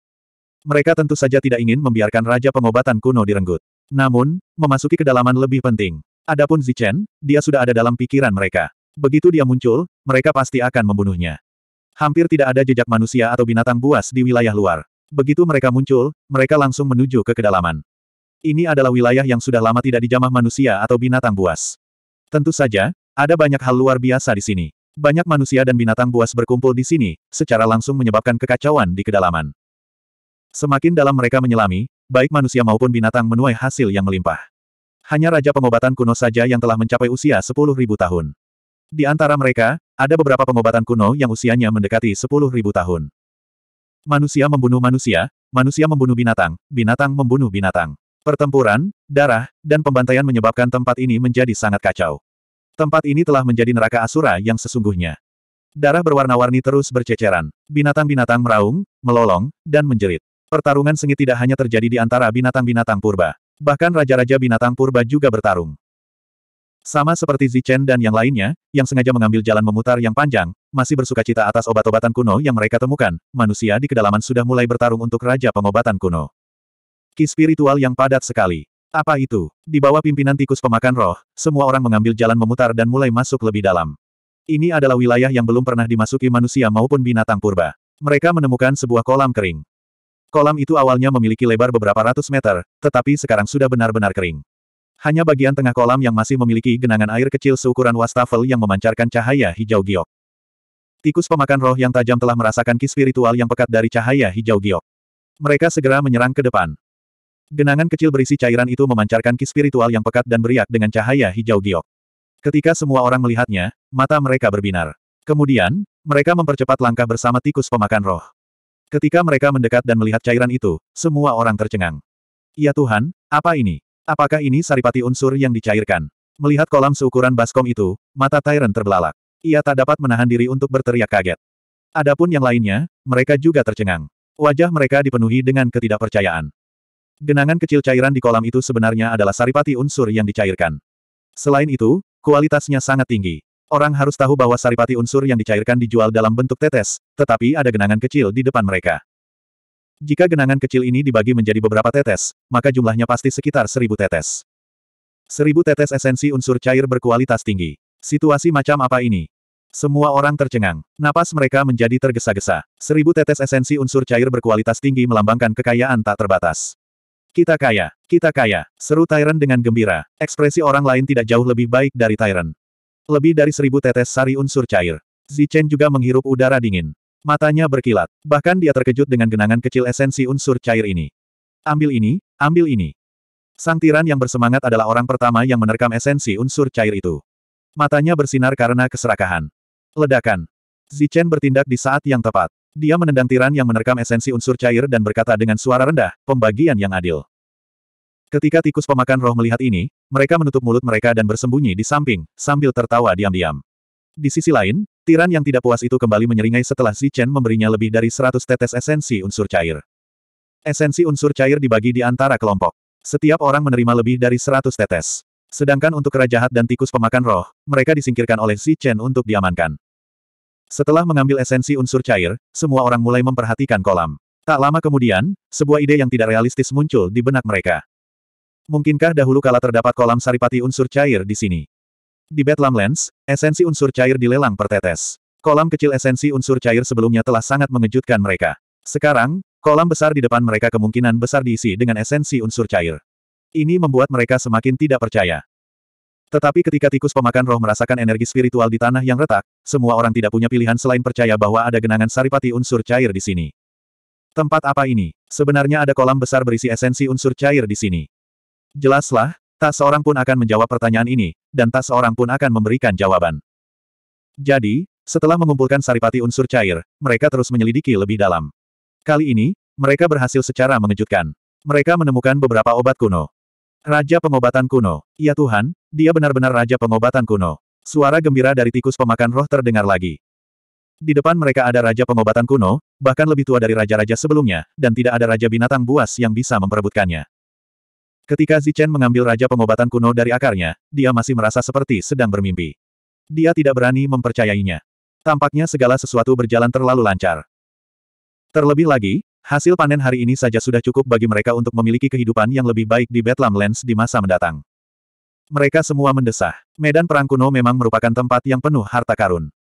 Ketika mereka mencapai kedalaman, tikus pemakan roh menemukan raja pengobatan kuno kedua yang tidak diperebutkan oleh binatang purba mana pun. Semuanya begitu ilusi dan tidak dapat dipercaya. Namun, ini memang benar. Mereka telah memperoleh total tiga raja pengobatan kuno. Ketika mereka mencapai kedalaman, mereka mendengar serangkaian ledakan energi. Itu adalah suara orang-orang yang sedang bertarung. Selain itu, suara pertempuran itu sangat kacau. Semua jenis suara naik dan turun terus-menerus. Jelas, ini adalah pertempuran yang kacau. Apa yang sedang terjadi? Zichen dan yang lainnya tidak tahu apa yang sedang terjadi. Mereka terus masuk lebih dalam. Kemudian, mereka melihat langit yang penuh dengan energi yang bergejolak. Segala macam serangan memenuhi langit dan bumi. Manusia membentuk kelompok dan melancarkan serangan dahsyat ke arah binatang purba. Saat darah berceceran, seekor binatang purba jatuh ke tanah, mati. Pada saat yang sama, ada juga binatang buas kuno yang membentuk aliansi dan mulai menyerang perkemahan manusia. Untuk beberapa saat, manusia menjerit dengan sedih saat mayat-mayat berjatuhan satu demi satu. Selain itu, ada juga pertempuran antara manusia dan binatang buas. Ini adalah pertempuran yang gila dan kacau. Selain beberapa faksi, semua orang dan binatang buas menjadi musuh dan target untuk dibunuh. Itu adalah Raja Pengobatan Kuno. Mereka memperebutkannya. Di tengah teriakan ketakutan, kelompok itu menemukan alasan di balik pertempuran yang kacau balau itu. Hal itu disebabkan oleh raja-raja pengobatan kuno. Selain itu, berdasarkan pemeriksaan visual, setidaknya ada lima atau enam raja pengobatan kuno di medan perang. Begitu banyak raja pengobatan kuno yang cukup untuk menarik perhatian banyak raja binatang. Itu juga cukup untuk menyebabkan pertempuran antara raja binatang. Namun, kelompok itu dengan cepat menemukan bahwa tidak ada satupun raja binatang yang berpartisipasi dalam pertempuran. Tidak ada satupun raja binatang buas di sini. Mungkinkah mereka semua pergi ke kedalaman? Ada sesuatu yang lebih berharga daripada Raja Pengobatan Kuno di sana. Zichen sedikit mengernyit. 566. Biksu dan kera iblis memimpin, dengan Wang Qiong, Wang San, dan yang lainnya sebagai pendukung. Mereka langsung menyerang ke medan perang yang kacau. Mereka bagaikan bilah tajam, langsung membelah medan perang yang kacau, menghancurkan semua yang ada di jalan mereka. Dengan sekali serangan, mereka tiba di hadapan seorang raja pengobatan kuno. Mengumpulkan. Tepat saat biksu itu berteriak, sesosok sosok keluar dari kehampaan. Sosok itu adalah Zhang Haotian. Dia langsung mengumpulkan Raja Ramuan kuno. Sederhana, langsung, dan keras. Saat Raja Ramuan kuno berada di tangannya, suara mayat yang jatuh ke tanah bisa terdengar. Selain manusia, ada juga binatang purba. Mayat manusia disingkirkan, sementara mayat binatang purba segera dikumpulkan oleh LV Peng. Pertarungan yang kacau dan intens itu sempat terhenti sebentar karena campur tangan paksa orang-orang ini. Kekuatan tempur orang-orang ini luar biasa kuat. Begitu mereka tiba, mereka benar-benar berhasil menyambar Raja Ramuan kuno. Setelah Raja Ramuan kuno dikumpulkan oleh Zhang Haotian, pertempuran yang baru saja berhenti meletus lagi. Mata semua orang memerah karena pembunuhan itu, dan mereka menjadi gila. Pada saat ini, tidak ada yang peduli jika Anda adalah eksistensi kuat yang dapat menghancurkan aturan, dan tidak ada yang peduli jika kekuatan tempur Anda sebanding dengan seniman bela diri langit. Pada saat ini, semua orang hanya peduli pada Raja Ramuan kuno. Di mata banyak manusia, yang ada hanyalah Raja Ramuan kuno. Selain itu, tidak ada yang lain. Oleh karena itu, setelah jeda singkat karena guncangan pertempuran, pertempuran yang lebih kacau dan intens pun pecah. Bunuh, incar Raja Ramuan kuno kedua. Biksu itu memegang alu penakluk iblis, dan tubuhnya memancarkan cahaya kemasan yang tak berujung. Dia menunjuk ke Raja Ramuan kuno kedua. Dia, yang seharusnya baik hati dan bermartabat, sekarang tampak ganas dan rakus. Ledakan. Gelombang energi melonjak. Dengan Raja Ramuan kuno kedua sebagai target mereka, Biksu dan Kera Iblis bergegas maju lagi. Pertarungan sengit dan kacau pun terjadi. Biksu dan yang lainnya bergegas menuju Raja Ramuan kuno kedua. Ke mana pun mereka lewat, banyak mayat berjatuhan, membentuk ruang hampa. Zichen tidak ikut bertempur. Dia hanya mengamati medan perang dan tidak menemukan jejak Raja Binatang kuno. Bahkan manusia yang terbakar itu tidak muncul. Apakah mereka semua memasuki kedalaman? Zichen mengerutkan kening dan menatap ke kedalaman gua, tetapi tidak ada apa-apa di sana, dan tidak ada fluktuasi energi. Ledakan. Di tengah suara keras, seorang manusia terlempar oleh seekor binatang purba. Tubuhnya terlempar mundur sejauh lebih dari 10 mil, dan dia sudah kehilangan vitalitasnya. Tiba-tiba, pupil mata Zichen mengecil. Dia melihat sosok lawannya menyentuh riak saat dia terbang mundur. Kemudian, sosoknya menghilang ke dalam riak. Ada ruang lain di sana. Raja binatang purba dan manusia api ada di dalamnya. Ekspresi Zichen berubah-ubah. Dia hampir yakin bahwa semua ahli sejati telah masuk. Setelah itu, sayap petir di sekitar tubuhnya berkelebat saat ia berubah menjadi sambaran petir dan menyerbu ke kedalaman medan perang. Kalian tetaplah di luar, jangan masuk ke dalam. Setelah meninggalkan transmisi suara, sosok Zichen menghilang dalam riak-riak. Begitu dia tiba di sisi lain riak, dia merasakan aura ganas yang kuat. Ini adalah aura mengerikan yang hanya bisa dimiliki oleh binatang purba berdarah murni. Setelah itu, serangkaian ledakan dahsyat terdengar saat aura raja mendatangkan malapetaka di langit. Semua raja binatang kuno ada di sini, dan mereka semua bertarung dengan sengit. Intensitas pertempuran itu puluhan kali lebih kuat dan lebih tragis daripada dunia luar. Cahaya darah yang cemerlang tersebar di langit. Segala macam energi yang kuat memenuhi dunia. Raja-raja binatang kuno yang kuat juga terus-menerus terluka. Darah berwarna-warni jatuh dari langit seperti mutiara. Mata para raja binatang kuno semuanya merah seolah-olah mereka sedang dalam keadaan panik. Mereka menunjukkan serangan terkuat mereka. Ini adalah pertempuran sengit di mana mereka tidak peduli dengan nyawa mereka. Mereka tidak menginginkan apa pun selain mencabik-cabik lawan mereka. Agar Raja Binatang Kuno menjadi begitu gila, pasti ada sesuatu yang muncul di kedalaman. Sangat mungkin bahwa binatang kuno berdarah murni telah muncul. Oleh karena itu, Zichen mendarat di tanah dan dengan hati-hati mendekati punggung gunung. Setelah maju lebih dari 10 mil, dia melihat pria yang terbakar bersembunyi di depannya. Dia tidak memiliki kekuatan untuk berpartisipasi dalam pertempuran para raja. Saat ini, dia berkeliaran di luar energi yang bergejolak, seolah-olah mencari kesempatan untuk melewati energi yang bergejolak itu. Energi antara langit dan bumi terus melonjak. Gunung-gunung kuno dan pohon-pohon kuno meledak satu demi satu. Asap dan debu yang tak berujung memenuhi langit, menutupi matahari. Zichen tidak dapat melihat melalui energi yang bergejolak untuk melihat apa yang ada di kedalaman. Namun, dari aura Raja Binatang kuno yang semakin menakutkan, dia merasakan aura yang tidak biasa. Hah! Tiba-tiba, Zichen menjerit kaget. Dia melihat darah Raja Binatang kuno semuanya menghilang setelah jatuh ke tanah. Seolah-olah darah itu telah meresap ke dalam tanah. Penemuan ini membuat Zichen pucat karena ketakutan. Harus diketahui bahwa tidak peduli darah Raja Binatang kuno apa pun yang dilihatnya di sepanjang jalan, darah itu tidak akan hilang setelah jatuh ke tanah. Itu karena darah Raja Binatang Kuno mengandung kekuatan yang tak terlukiskan. Namun kini, darah Raja Binatang Kuno yang ditinggalkan oleh Raja Binatang Kuno tiba-tiba menghilang setelah jatuh ke tanah dan berubah menjadi mutiara darah. Mengenai penemuan ini, Zichen bersembunyi di kejauhan dan mengamati dengan saksama. Setelah beberapa saat, keringat dingin muncul di dahinya. Perasaan ngeri muncul di hatinya. Darah Raja Binatang Kuno benar-benar telah menghilang. Seolah-olah ada sesuatu yang tiba-tiba menelan dan menyerapnya. Mungkinkah yang memancarkan aura Raja Binatang Kuno itu adalah makhluk hidup? Selain itu, makhluk itu telah menderita luka parah dan saat ini sedang menyerap darah Raja Binatang Kuno untuk menyembuhkannya. Tebakan ini membuat ekspresi Zichen berubah drastis. Rasa dingin yang baru saja muncul di hatinya menjadi semakin kuat. Melihat Raja Binatang Kuno, mereka semua tampak gila dan serakah, seolah-olah mereka tidak menginginkan apa pun selain saling mencabik. Seolah-olah mereka tidak menyadari keanehan tempat ini. Hilangnya kendali diri Zichen menyebabkan auranya menghilang. Pria yang terbakar itu dengan tajam merasakan keberadaan Zichen. Dia menoleh dan menatap Zichen dengan mata dingin. Apa yang kau temukan? Apa yang ada di sini? Zichen menatap pria yang terbakar dari jauh dan bertanya. Huff. Pria yang terbakar itu mendengus dingin. Sudut mulutnya melengkung membentuk senyum sinis. Dia menoleh dan mengabaikan Zichen. Namun, melihat penampilan pria yang terbakar itu, sepertinya dia masih ingin masuk lebih dalam. Mungkinkah benar-benar ada sesuatu di dalamnya? Apa itu? Darah esensi Raja Binatang Purba-Purba.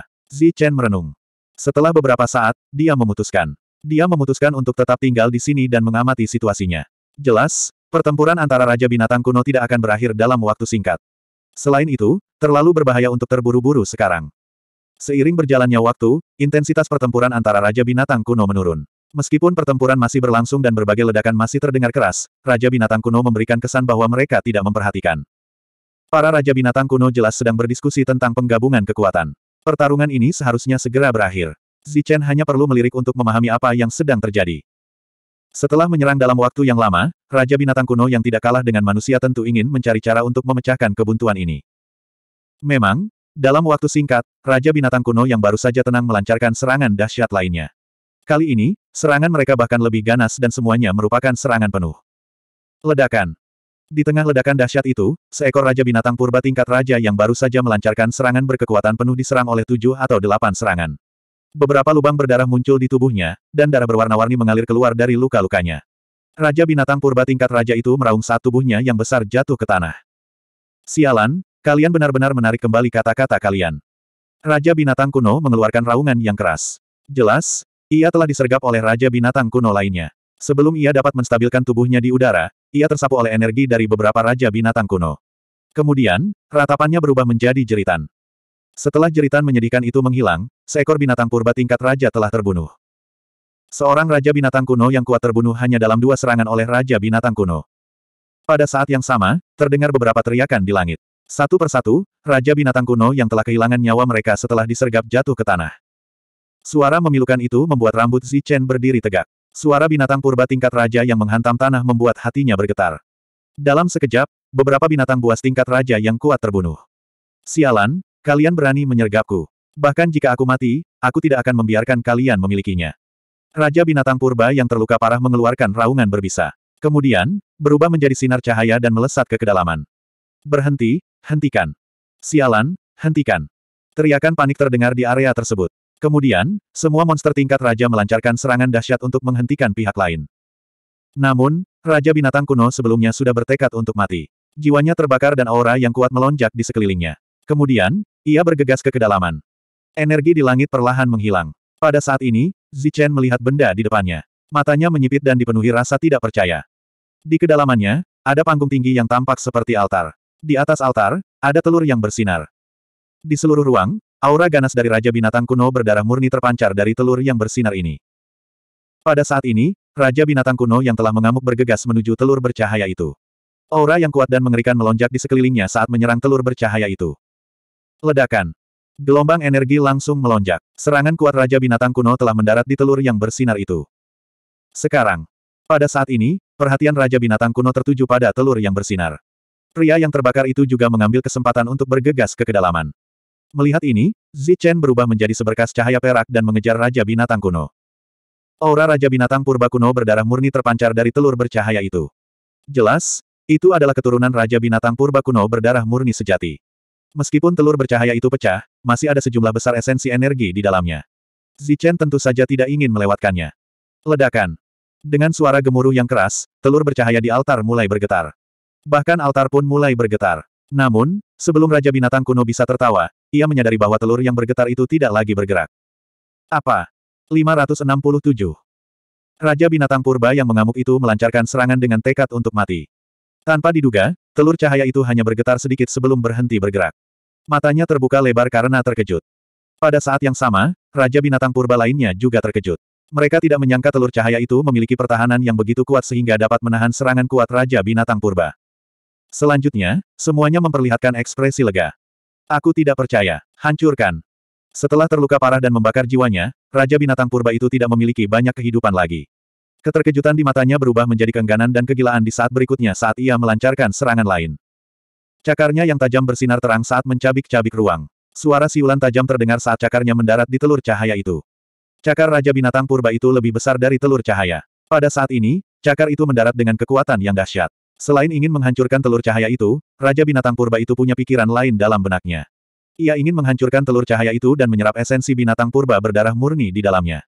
Ia bahkan mungkin bisa menyembuhkan tubuhnya yang terluka parah dan berevolusi lagi. Itu akan memberinya kesempatan untuk hidup. Seperti yang diharapkan dari Raja Binatang Purba. Dalam waktu yang singkat, tindakannya yang tampak gila memiliki makna yang dalam di baliknya. Berdengung. Tepat saat serangan dahsyat itu hendak mendarat, telur cahaya itu tiba-tiba bergetar.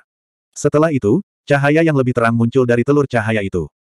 Serangan Raja Binatang Purba mendarat di telur cahaya. Energi yang mengerikan bergetar saat kekuatan dahsyat itu melesat menuju telur cahaya. Namun, serangan sekuat itu tidak menimbulkan riak apa pun. Itu seperti lembu tanah liat yang memasuki laut. Setelah semua energi mencapai telur cahaya, itu diblokir oleh tirai cahaya dan menghilang. Selain itu, binatang buas kuno juga merasakan kekuatan hisap yang dipancarkan dari telur cahaya, dengan kuat menghisap cakarnya yang besar dan tajam ke telur cahaya. Setelah berjuang beberapa saat, Raja Binatang Purba itu menyadari bahwa ia tidak dapat melepaskan diri dari telur cahaya itu. Ekspresinya langsung berubah. Setelah itu, ia merasakan daya isap yang kuat dari telur cahaya itu. Daya isap ini begitu kuat sehingga langsung menyelimuti tubuhnya. Tidak. Di bawah kekuatan hisap, Raja Binatang Purba itu merasakan aura kematian menyerbu ke arahnya. Ia menjerit ketakutan. Setelah itu, tubuhnya yang besar diselimuti oleh cahaya telur cahaya. Pada saat berikutnya, tubuh besar Raja Binatang Buas kuno itu mulai menyusut dan menyusut dengan kecepatan yang terlihat oleh mata telanjang. Raja Binatang Purba yang ketakutan itu menjerit dengan menyedihkan. Mendengar jeritan menyedihkan itu dan melihat tubuh Raja Binatang Purba yang bagaikan gunung itu menyusut dengan cepat, mata semua binatang purba dipenuhi dengan kengerian. Ini adalah telur cahaya dari binatang purba berdarah murni yang mereka pertaruhkan dengan nyawa mereka untuk mendapatkannya. Telur itu ternyata memiliki kemampuan yang luar biasa. Melihat kejadian ini, pria yang terbakar itu, yang telah berlari ke depan dengan kecepatan yang sangat tinggi, juga tampak ketakutan di matanya. Seolah-olah dia telah melihat hantu. Dia langsung berhenti, berbalik, dan berlari menjauh seolah-olah dia sedang menghindari ular atau kalajengking. Pada saat yang sama, Zichen, yang juga bergegas mendekat, melihat bahwa situasinya tidak baik. Dia segera mengubah arah dan bergegas menuju mayat binatang tingkat raja. Kemudian, dia menggunakan kecepatan tercepatnya untuk menyimpan mayat binatang tingkat raja ke dalam labu ungu emas. Zichen bahkan lebih terkejut lagi saat dia merasakan bahwa lebih dari setengah saripati darah Raja Binatang Buas kuno telah hilang dalam labu ungu emas. Perubahan seperti itu tidak hanya mengejutkan manusia di sini, tetapi juga binatang purba tingkat raja lainnya. Mereka berdiri di udara dan melihat ke bawah dengan kaget. Mereka melihat dengan mata kepala mereka sendiri kekuatan hidup dan esensi tubuh Raja Binatang Purba diserap paksa oleh telur cahaya. Dalam waktu kurang dari satu menit, Raja Binatang Purba tingkat raja, yang sebanding dengan puncak gunung, berubah menjadi mayat kering. Semua esensinya hilang. Ledakan. Dengan suara pelan, mayat kering Raja Binatang Purba tingkat Raja tiba-tiba meledak. Kemudian, mayat itu menghilang ke udara tipis. Baik manusia maupun binatang terkejut dengan kejadian ini. Mereka semua linglung. Lingkungan sekitar sunyi senyap. Bagaimana ini bisa terjadi? Mata Zichen dipenuhi rasa takut. Dia berencana untuk meninggalkan tempat ini. Sedangkan untuk pria yang berapi-api itu, dia sangat tegas. Dia sudah mundur ke tempat riak-riak itu berada. Dentuman, dentuman, dentuman. Di langit dan bumi yang sunyi, beberapa suara lembut tiba-tiba terdengar. Mayat Raja Binatang Purba tingkat Raja yang jatuh ke tanah berubah menjadi debu dan menghilang di udara. Jelas, esensi mayat telah sepenuhnya dimakan. Bagaimana ini bisa terjadi? Mata semua binatang purba tingkat Raja dipenuhi dengan ketakutan. Ekspresi mereka bahkan lebih ragu-ragu. Itu hanya telur cahaya. Ayo kita hancurkan. Di langit dan bumi yang sunyi, raungan Raja Binatang Purba tingkat Raja tiba-tiba terdengar. Ledakan. Energi ganas melonjak. Raja binatang purba tingkat raja yang berbicara telah melancarkan serangan. Ia melancarkan serangan ganas ke telur cahaya. Di altar, telur cahaya itu bergetar sekali lagi. Kemudian, ia berhenti bergerak. Serangan ini masih belum berhasil menembus pertahanannya. Semuanya, serang dengan seluruh kekuatan kalian. Mari kita pecahkan telur cahaya ini terlebih dahulu. Raja binatang purba tingkat raja lainnya berbicara. Itu sebenarnya macan tutul iblis tua. Ia telah melihat Chen. Namun, dengan adanya telur cahaya aneh itu, ia tidak punya waktu untuk menghadapinya. Saat macan tutul tua itu selesai berbicara, ia juga melancarkan serangan yang kuat. Telur cahaya itu bergetar karena serangan energi itu. Seharusnya ada binatang purba berdarah murni yang belum menetas di dalamnya. Semuanya, serang dengan sekuat tenaga. Setelah menghancurkannya, lahap esensinya. Benar sekali, serang dengan seluruh kekuatanmu. Hancurkan. Lebih banyak binatang purba tingkat raja mulai merespons. Kemudian, mereka semua bergabung dan melancarkan serangan yang kuat. Pada saat ini, puluhan binatang purba tingkat raja bergabung. Serangan itu sangat mengerikan. Seluruh ruang bergetar hebat. Ledakan. Namun, di altar, telur cahaya itu hanya bergetar. Bahkan serangan kuat pun tidak dapat menembus pertahanan telur cahaya itu. Meskipun telur cahaya itu tidak terluka, altar itu meledak dengan suara keras, berubah menjadi bubuk halus di tengah energi yang merusak. Setelah itu, telur cahaya itu jatuh ke tanah dan berguling beberapa kali. Setelah kehilangan altar, cahaya pada telur cahaya itu benar-benar meredup. Meskipun telur cahaya itu masih memiliki keganasan binatang purba berdarah murni, cahayanya tidak seterang sebelumnya. Berhasil. Semuanya, serang dengan seluruh kekuatan kalian. Binatang purba tingkat raja secara alami menyadari ketidaknormalan itu. Mata mereka berbinar gembira. Tampaknya memecahkan telur cahaya itu sangat menjanjikan. Namun, dengan pelajaran dari sebelumnya, mereka tidak berani gegabah maju untuk menyelidiki. Mereka hanya bisa terus melancarkan serangan di udara. Setelah kehilangan altar, cahaya pada telur cahaya tidak lagi seterang sebelumnya. Namun, pertahanannya tidak melemah sama sekali. Tetap saja menakutkan seperti sebelumnya. Banyak serangan yang mengenai telur cahaya itu, menyebabkannya berguling di tanah. Namun, mereka tidak dapat menembus telur cahaya itu. Karena semakin banyak serangan yang mengenai telur cahaya itu, cahaya pada telur cahaya itu menjadi semakin redup. Pada akhirnya, telur itu tampak seperti telur biasa. Terlebih lagi, dengan setiap serangan, telur cahaya itu akan terlempar puluhan atau bahkan ratusan meter jauhnya. Tampaknya selain pertahanannya yang kuat, tidak ada yang istimewa dari telur cahaya itu. Setelah menyerang cukup lama tanpa menembus pertahanan telur, kelompok binatang purba itu berhenti menyerang. Mereka sekali lagi terbang ke udara, tatapan dan indera spiritual mereka tertuju pada telur di bawahnya. Zichen sudah melesat pergi dan mengamati dari jauh.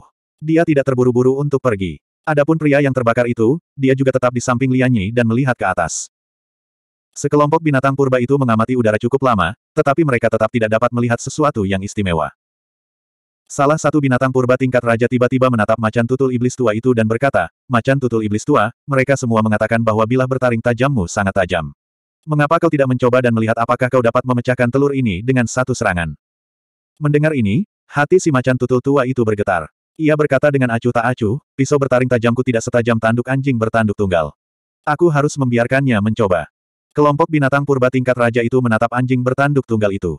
Ekspresi anjing itu agak tidak wajar, tetapi dia tidak marah. Dia berkata langsung, jika semua orang berpikir begitu, maka aku bisa mencobanya. Mendengar ini, semua binatang purba tingkat raja mengangguk. Beberapa dari mereka bahkan memujinya. Setelah itu, anjing bertanduk tunggal itu menyerang di depan kelompok binatang purba tingkat raja. Seberkas cahaya yang mengerikan melesat keluar dari tanduknya dan mendarat dengan keras di atas telur itu. Peng! Dengan suara ledakan keras, telur itu terlempar puluhan meter jauhnya. Setelah energi penghancur pada berkas cahaya menghilang, telur itu tetap tidak pecah. Mengabaikan tatapan tidak puas dari binatang purba tingkat raja, anjing bertanduk tunggal itu menggelengkan kepalanya dan berkata, kalian semua melihatnya. Aku tidak bisa menembus pertahanan telur itu. Kelompok binatang purba tingkat raja itu sangat marah. Mereka berpikir, kami memintamu untuk menyerang dengan tandukmu. Siapa yang memintamu untuk menyerang dari jauh? Anjing bertanduk satu, ini salahmu. Kami bermaksud agar kau menyerang telur itu dengan tandukmu. Kami tidak mengatakan bahwa kau bisa menyerang dari jauh. Macan tutul tua itu tidak puas. Anjing bertanduk tunggal itu tersenyum. Meskipun ia ingin mencabik-cabik macan tutul tua itu, ia tidak menunjukkannya di wajahnya. Sebaliknya, ia menyampaikan, Kekuatan tempur jarak dekat tandukku tidak jauh lebih kuat dari serangan sebelumnya. Harus kuakui bahwa pertahanan telur itu sangat kuat. Namun, kau, macan tutul tua, dapat mencoba menggunakan bilah bertaring tajammu. Selama tidak melibatkan mereka, kelompok binatang purba tingkat raja itu mudah ditangani. Pada saat ini, tatapan mereka tertuju pada macan tutul iblis tua itu lagi. Macan tutul tua itu ragu-ragu sejenak, tetapi dia mencibir dalam hatinya. Pada akhirnya, dia berpura-pura berada dalam posisi yang sulit dan berkata, kalau begitu, aku akan mencobanya. Sebelum semua orang bisa bersuka cita, bila pedang besar bertaring tajam di mulut macan tutul tua itu mulai bersinar. Kemudian, bila itu meninggalkan tubuhnya dan berubah menjadi seberkas cahaya, menebas telur itu. Dentang. Dengan suara menggelegar, telur besar itu terlempar lagi. Setelah serangan itu, bila bertaring tajam itu juga kembali, tanpa kerusakan. Melihat pemandangan ini, ekspresi para binatang purba tingkat raja sedikit berubah. Pertahanannya memang sangat kuat. Biar aku coba lagi. Macan tutul tua itu tertawa terbahak-bahak. Kemudian, bila pedang bertaring tajam lainnya meninggalkan tubuhnya dan menebas telur besar itu bersamaan dengan bilah sebelumnya. Suara gemuruh itu terus berlanjut saat telur besar itu menari-nari di udara. Macan tutul tua itu juga mengendalikan bilah bertaring tajam, tetapi hampir tidak efektif. Selama pemotongan terus-menerus, macan tutul iblis tua itu juga merasakan telur besar itu. Ia menemukan bahwa telur itu tampaknya telah menjadi benda biasa. Selain pertahanannya yang kuat, tidak ada yang istimewa tentangnya. 568 Merasa tidak ada yang salah dengan telur itu bahkan setelah diangkat oleh energi, mata macan tutul tua itu menunjukkan sedikit kegembiraan. Ia mengira telah menemukan telur itu, dan dengan demikian memiliki beberapa pemikiran khusus dalam benaknya. Kedua taring pedang itu kembali ke posisi semula. Sekelompok Raja Binatang buas menatap macan tutul iblis tua itu dan bertanya. Macan tutul tua itu menggelengkan kepalanya dan berkata, pertahanannya memang sangat kuat. Aku tidak bisa menembusnya. Semuanya, jangan hanya menonton penampilanku. Kalian semua bisa mencobanya. Raja-raja binatang lainnya menggelengkan kepala mereka seperti mainan kerincingan. Pelajaran dari sebelumnya masih jelas dalam pikiran mereka. Ceritan menyedihkan dari raja-raja binatang masih bergema di telinga mereka. Mereka tidak berani menyentuh telur itu dengan santai. Setelah mendengar kata-kata macan tutul iblis tua itu, mereka semua menjadi rendah hati, mengatakan bahwa mereka tidak cukup kuat. Kemudian, mereka mulai memuji macan tutul iblis tua itu, dengan mengatakan bahwa kekuatan tempur ras macan tutul iblis bergigi pedang adalah salah satu yang terbaik di antara para raja binatang.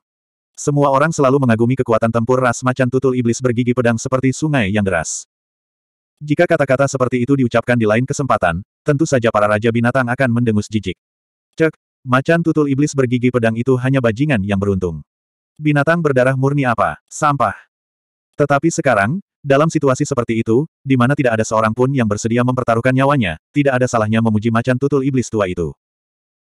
Mendengar pujian itu, wajah macan tutul tua itu jelas menunjukkan ekspresi puas. Katanya, karena semua orang berkata begitu, maka aku akan tampak tidak setia jika terus menolak. Biar aku coba lagi dengan serangan puncakku. Mendengar ini, semua binatang buas tertawa, mengatakan bahwa macan tutul iblis tua itu memang seorang teman baik, dan layak untuk menjadi sahabat yang mendalam.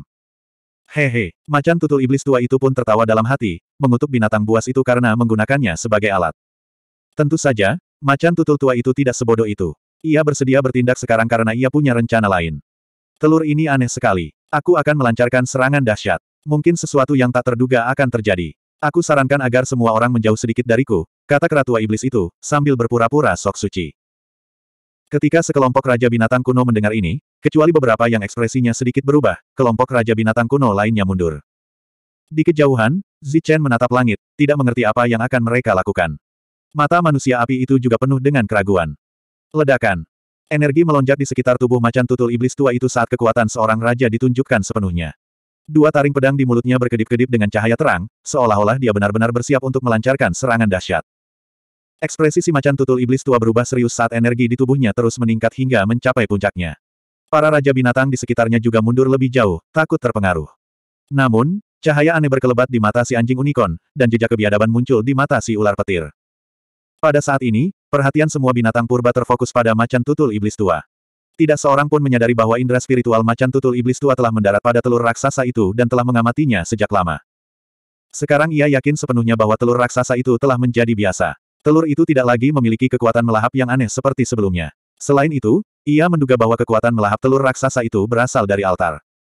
Di tengah energi yang bergejolak, macan tutul iblis tua itu telah bergerak. Ia berubah menjadi cahaya hijau cemerlang saat ia bergegas menuju telur raksasa itu. Energi di dalam tubuhnya telah meningkat ke puncaknya. Ini adalah serangan yang asli dan kuat. Peng! Semburan energi mendarat di telur raksasa itu, menghasilkan suara dentuman keras. Telur raksasa itu langsung terlempar, tetapi pertahanannya yang kuat masih berhasil menghalangi serangan ini. Ini adalah serangan energi, bukan serangan pedang. Ekspresi semua binatang purba berubah. Namun, macan tutul iblis tua itu jelas masih punya rencana cadangan. Ia berubah menjadi cahaya hijau lagi dan bergegas menuju telur raksasa yang terbang itu. Dua taring pedang di mulut macan tutul iblis tua itu memancarkan cahaya yang menyilaukan saat aura yang mendebarkan jantung menyebar. Jelas, ini adalah serangan fisik yang nyata. Semua raja binatang membelalakan mata mereka. Zichen dan manusia yang terbakar juga menahan napas. Macan tutul iblis tua itu tiba di depan telur raksasa itu dalam sekejap mata. Namun, tidak ada suara ledakan energi. Ketika macan tutul iblis tua itu mendekati telur raksasa itu, energi yang melonjak di sekitar tubuhnya telah ditarik sepenuhnya. Selain itu, ia meraih telur raksasa itu dan berubah menjadi sinar cahaya saat ia melarikan diri menuju riak air. Macan tutul iblis tua lari membawa telur raksasa itu. Adegan seperti itu langsung mengejutkan raja binatang lainnya. Mereka bahkan tidak punya waktu untuk bereaksi. Di kejauhan, Zichen juga tercengang. Macan tutul iblis tua ini memang sangat berani. Ia berani merebut telur raksasa di depan puluhan raja binatang. Macan tutul setan tua, berhenti di situ. Tepat saat macan tutul iblis tua itu mulai melarikan diri, sebuah suara dingin bergema. Kemudian, seberkas cahaya melesat ke arah macan tutul iblis tua itu. Itu adalah anjing unicorn. Ia telah lama merasakan ketidaknormalan macan tutul iblis tua itu, jadi ia tidak lengah. Melihat macan tutul iblis tua melarikan diri sambil membawa telur besar itu, dan fakta bahwa telur besar itu tidak mencoba melahapnya, ia segera menyerbu. Tanduknya memancarkan cahaya terang saat ia melancarkan serangan yang kuat. Melihat serangan anjing unicorn, ekspresi macan tutul iblis tua itu berubah. Ia kemudian mengulurkan cakarnya yang lain untuk menangkis serangan anjing unicorn. Kau sangat sombong. Jangan bilang kau benar-benar berpikir kekuatan tempurmu adalah salah satu yang terbaik di sini. Aku hanya memujimu sebelumnya. Melihat macan tutul iblis tua itu hanya mengulurkan cakarnya untuk menangkisnya, anjing unicorn itu tampak sedikit jijik di matanya. Ia secara batin meningkatkan kekuatannya hingga 30%. Fiuh. Darah hijau berceceran saat cakar si macan tutul iblis tua itu langsung tertusuk oleh tanduk si anjing unicorn. Namun, si macan tutul iblis tua itu tidak melolong kesakitan. Sebaliknya, ekspresinya yang terdistorsi itu memiliki jejak tambahan berupa rasa senang yang berlebihan. Kemudian, anjing unicorn merasakan daya isap yang kuat dari cakar macan tutul iblis tua. Di bawah daya isap ini, darah dan kekuatan hidup anjing unicorn terkuras dengan cepat. Ekspresi si anjing unicorn berubah drastis. Matanya dipenuhi ketakutan yang mendalam. Jelas, daya isap ini berasal dari kekuatan melahap telur. Namun, penyamaran si macan tutul iblis tua itu terlalu bagus. Jelas ia mencoba menyeret anjing unicorn itu ke bawah. Setelah berjuang beberapa kali tetapi masih tidak bisa melepaskan diri, Unicorn Hound merasakan aura kematian yang kental. Ia begitu takut sehingga tidak bisa menahan diri untuk menjerit ketakutan. Namun, ketika ia melihat ular petir datang dari sudut matanya, ia dengan paksa menghentikan dirinya dari berteriak. Kemudian, tatapan ganas melintas di matanya dan ekornya yang panjang menyapu ke arah ular petir. Sasaran ular petir juga adalah macan tutul iblis tua. Ia hanya sedikit lebih lambat dari anjing unicorn. Selain itu, perhatiannya sepenuhnya terfokus pada macan tutul iblis tua. Ia sama sekali tidak peduli dengan anjing unicorn. Ditambah dengan fakta bahwa sapuan ekor anjing unicorn sangat cepat, ia tidak memiliki kekuatan ofensif apa pun. Ekor anjing itu langsung melilit ular petir, dan daya isapnya langsung menyebar dari ekor anjing itu dan mendarat di tubuh ular petir. Mata ular petir membelalak ngeri. Ekor anjing unicorn hanya melingkari tubuh ular petir, tetapi itu seperti bagian dari tubuhnya. Tidak peduli seberapa keras ia berjuang, ia tidak bisa melepaskannya. Telur itu sudah bersinar. Terlebih lagi, tubuh macan tutul iblis tua itu sudah menunjukkan tanda-tanda mengering. Ia tidak bisa menahan diri untuk tidak mengeluarkan raungan rendah. Melihat pemandangan ini, binatang buas kuno di sekitarnya sudah melarikan diri. Suara mendesing.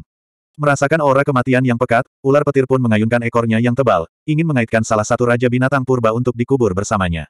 Sayangnya, semua binatang purba itu sangat pintar dan telah lolos dari jangkauan serangan ular petir. Ular petir itu sangat enggan. Tiba-tiba, dari sudut matanya, ia melihat seorang manusia melarikan diri dengan kecepatan tinggi. Secara kebetulan, manusia ini adalah orang yang telah menyambar raja pengobatan kuno miliknya. Meskipun tidak ada gunanya menyeret manusia bersamanya saat ia hampir mati, itu lebih baik daripada tidak sama sekali. Oleh karena itu, ekor panjang ular petir itu menyapu ke arah Zichen. Zichen secara alami merasakan perubahan pada tiga raja binatang purba itu. Saat ia melarikan diri dengan kecepatan tinggi, ia memperoleh pemahaman yang lebih baik tentang kelicikan dan kekejaman binatang purba itu. Namun, pada saat itu, dia merasakan gelombang energi yang kuat di atas kepalanya. Kemudian, dia melihat ratusan sambaran petir menyambar ke arahnya. Sialan, ular petir ini ingin menyeretku ke bawah bersamanya. Melihat kilatan petir di atas kepalanya, Zichen ketakutan setengah mati. Sayap petir di punggungnya terus mengepak, ingin menggunakan kecepatannya yang ekstrim untuk melarikan diri. Dengan sayap petir, kecepatan Zichen sangat cepat. Raja binatang purba biasa tidak dapat mengejarnya. Namun, ini hanya mengacu pada kecepatan terbangnya, bukan kecepatan menyerangnya. Ditambah dengan serangan putus asa ular petir, kekuatan serangannya menjadi semakin kuat. Dengan demikian, dalam sekejap, Zichen diselimuti oleh banyak sambaran petir. Kekuatan petir terus mendatangkan malapetaka. Di tengah energi petir, wajah Zichen dipenuhi ketakutan. Dia berusaha menghindar, ingin mencari kesempatan untuk melarikan diri. Ledakan. Di langit, energi petir melonjak hebat. Kemudian, lebih banyak energi turun, memenuhi seluruh ruang dalam sekejap. Zichen disambar petir satu demi satu. Tubuhnya yang kuat dan sempurna langsung terkoyak oleh petir tersebut. Garis-garis darah muncul di sekujur tubuhnya, dan darah kemasan pucat berceceran di mana-mana. Zichen sudah kesulitan menahan sambaran petir. Ditambah dengan luka-lukanya, kecepatannya pun berkurang drastis. Pada saat ini, seberkas cahaya perak besar berkelebat. Ular itu menyerah-menyerang dan fokus pada kecepatan. Seketika, ular itu melilit tubuh Zichen. Pada saat berikutnya, Zichen merasakan daya isap yang sangat kuat dari tubuh ular petir. Kekuatan hisap ini tidak hanya menghisap darahnya, tetapi juga menguras kekuatan hidupnya. Hati Zichen dipenuhi rasa takut. Dia tidak bisa menahan diri untuk berteriak. Darah emas di tubuhnya mengeluarkan suara mengerikan. Dia mengerahkan seluruh energinya hingga batas maksimal, ingin melepaskan diri dari kekuatan hisap ini. Akan tetapi, dia menyadari tanpa daya bahwa dia tidak dapat melepaskan diri dari kekuatan hisap ini. Sudah berakhir. Tidak dapat melepaskan diri dari daya isap ini, mata Zichen dipenuhi dengan keputusasaan. Mungkinkah hidupnya akan berakhir di sini? Zichen yang putus asa juga ingin mencari seseorang atau binatang buas untuk dijadikan kambing hitamnya. Namun, tidak ada yang bisa ditemukan. Manusia yang terbakar adalah orang pertama yang lolos dari riak-riak dan bergegas ke dunia luar. Sekelompok binatang buas tingkat raja juga dipenuhi rasa takut. Mereka bersembunyi jauh. Telur raksasa itu menghisap macan tutul iblis tua itu. Cakar macan tutul iblis tua itu menghisap anjing bertanduk tunggal itu. Ekor anjing bertanduk tunggal itu terhubung dengan ular petir itu. Pada akhirnya, ular petir itu melilit erat di sekitar Zichen. Di mata tiga binatang buas pertama, ada kengganan, kebencian, dan kesombongan. Hanya Zichen yang tidak menemukan siapa pun untuk dijadikan kambing hitamnya. Matanya dipenuhi dengan kengganan dan ketakutan, tetapi dia tidak sombong. 569. Zichen belum ingin mati, tetapi di bawah kekuatan melahap telur itu, segalanya berada di luar kendalinya. Kehidupan mengalir deras, telur raksasa itu bersinar, seperti bayi yang kelaparan, menelan susu. Namun, yang dilahap pihak lain bukanlah susu asli, melainkan kekuatan hidup seekor binatang purba tingkat raja yang telah hidup selama bertahun-tahun yang tak terhitung jumlahnya. Tubuh macan tutul iblis tua itu menyusut dengan kecepatan yang terlihat oleh mata telanjang. Semenit kemudian, tubuh macan tutul iblis tua yang seperti gunung itu menyusut dan menghilang bersama angin. Raja binatang buas purba yang beberapa saat lalu masih hidup menghilang dari dunia, tidak meninggalkan setitik pun debu. Saat tubuh macan tutul tua itu menghilang, telur itu tampak telah berpindah tempat. Telur itu memancarkan cahaya terang dan menempel pada tubuh anjing bertanduk tunggal itu. Kekuatan hidup anjing itu juga mengalir cepat. Selama periode ini, ular petir dan Zichen sama-sama terkekang oleh kekuatan melahap. Mereka tidak dapat melepaskan diri, dan kekuatan hidup mereka juga tidak mengalir dengan cepat. Tampaknya telur itu ingin melahap mereka satu persatu. Saya harap setelah melahap anjing bertanduk tunggal dan ular petir, ia akan melahap cukup banyak dan tidak membutuhkan energi lagi. Zichen yang putus asa mulai membiarkan imajinasinya menjadi liar. Bayangan teman-temannya, saudara-saudaranya, dan para wanita melintas di benaknya. Wajah Wang Xianer, Lin Sui, Su Mengyao, dan Sangguan Yuer terus melintas di benaknya. Kematian tidaklah menakutkan. Yang menakutkan adalah menunggu kematian. Tak lama kemudian, anjing bertanduk tunggal itu pun tersedot hingga kering dan menghilang dengan suara pelan. Telur itu menempel lagi di tubuh ular petir, dan cahayanya pun menjadi semakin terang. Perasaan menunggu kematian ini membuat Chen semakin takut. Berdasarkan kecepatan sebelumnya, sepertinya dia hanya punya waktu satu menit lagi untuk hidup. Telur itu bisa melahap seekor Raja Binatang Buas dalam satu menit. Namun, dibandingkan dengan Raja Binatang Buas, tubuhnya yang kecil tampaknya hanya mampu melahapnya sekali. Dengan kata lain, dia hanya bisa bertahan selama satu tarikan napas. Haha. Ketakutan Zichen membuat ular petir tertawa terbahak-bahak. Namun, tawa ini dipenuhi dengan kesedihan. Raja Binatang Buas di kejauhan bahkan lebih ngeri. Peng! Ular petir itu mengerut dan menghilang bersama angin. Kemudian, telur itu menempel di tangan Zichen seperti hantu. Ledakan. Seperti banjir yang meluap, Zichen merasakan kekuatan kehidupan dan esensi ki-nya mengalir deras ke arah telur raksasa itu. Setelah itu, penglihatan Zichen menjadi hitam dan dia terjatuh ke tanah. Ledakan. Dengan suara keras, Zichen jatuh ke tanah bersama telur raksasanya. Terjadi keheningan mematikan antara langit dan bumi. Telur raksasa di bawahnya bersinar. Zichen berbaring dengan tenang di samping telur raksasa itu, salah satu tangannya masih menempel erat pada telur raksasa itu. Di atas mereka, semua Raja Binatang kuno memiliki ketakutan di mata mereka, dan tidak ada satupun dari mereka yang berani bergerak. Telur raksasa itu terlalu menakutkan. Selama telur itu menyentuh mereka, mereka pasti akan mati. Tidak ada satupun binatang purba yang berani mendekat. Di dunia yang sunyi senyap ini, tak terdengar satu suara pun, bahkan nafas raja-raja binatang purba pun tidak. Setelah jeda yang tidak diketahui, secerca kebingungan tiba-tiba muncul di mata salah satu binatang purba, lalu berseru, eh, mengapa manusia itu tidak berubah menjadi ketiadaan? Sebelumnya, ketika telur raksasa melahap Raja Binatang Buas, hanya butuh waktu semenit untuk mengubahnya menjadi mayat kering dan mengubahnya menjadi ketiadaan. Namun sekarang, manusia kecil itu benar-benar bertahan selama beberapa menit, dan tidak ada tanda-tanda dia akan mengering. Semua Raja Binatang kuno menyadari ketidaknormalan itu dan melihat ke bawah dengan bingung. Telur raksasa itu bersinar, dan mereka tidak berani menggunakan indera spiritual mereka. Mereka hanya bisa melihatnya dengan mata mereka. Samar-samar, mereka tampaknya melihat bahwa manusia itu masih bernapas. Dia masih hidup. Bagaimana ini mungkin? Penemuan ini menyebabkan ekspresi binatang purba berubah. Mereka merasa tidak percaya. Binatang purba yang lebih berani mundur jauh, lalu melepaskan indera spiritualnya untuk menjangkau manusia di samping telur raksasa, dan mulai menyelidiki sedikit demi sedikit. Saat ia menarik kembali indera spiritualnya, ekspresi Raja Binatang kuno menjadi sangat aneh. Bagaimana? Tanya binatang purba lainnya. Ekspresi Raja Binatang kuno menjadi semakin aneh, lalu berkata, dia tidak mati. Dia hanya pingsan karena ketakutan. Apa? Dia tidak mati. Dia hanya pingsan karena ketakutan. Kenapa? Jawaban ini tidak dapat diterima oleh Raja Binatang Purba. Beberapa Raja Binatang Purba sudah mati, apalagi manusia biasa. Mungkinkah ada yang salah dengan manusia ini? Mari kita coba menyerang lagi. Seorang Raja Binatang kuno menyarankan dan melepaskan seberkas energi. Namun sebelum sinar energi yang mengerikan itu mendarat di Zichen, seberkas cahaya tiba-tiba menyambar telur raksasa itu, dan kemudian sebuah penghalang cahaya muncul di depan Zichen, menghalangi sinar energi ini. Telur raksasa itu masih bisa melontarkan serangan energi dan para Raja Binatang kuno pun menjadi semakin ketakutan. Zichen memang tidak mati. Setelah telur raksasa itu menempel di tubuhnya dan menyerap vitalitasnya, dia pingsan karena ketakutan dan jatuh ke tanah. Kemudian, dia seperti bermimpi. Dalam mimpinya, dia melihat semua orang yang ingin dia lihat. Su Mengyao kembali ke Sekte Kabut Terapung dan dianggap sebagai dewi. Murid-murid Sekte Kabut Terapung yang tak terhitung jumlahnya menatapnya dengan ekspresi fanatik. Wang Xianer kembali ke kota Yunxia. Dengan kekuatan tempurnya yang dahsyat, ia mengalahkan ayahnya, menekan Wang Qiong, dan menjadi ahli nomor satu di kota Yunxia.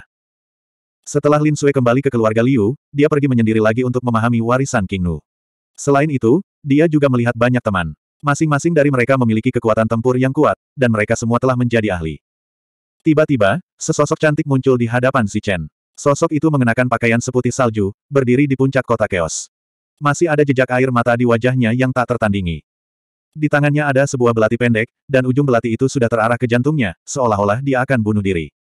Di bawah, ada banyak penonton. Ketika orang-orang ini melihat bahwa sosok cantik itu akan bunuh diri, mereka tidak hanya tidak menghentikannya, mereka bahkan tertawa terbahak-bahak.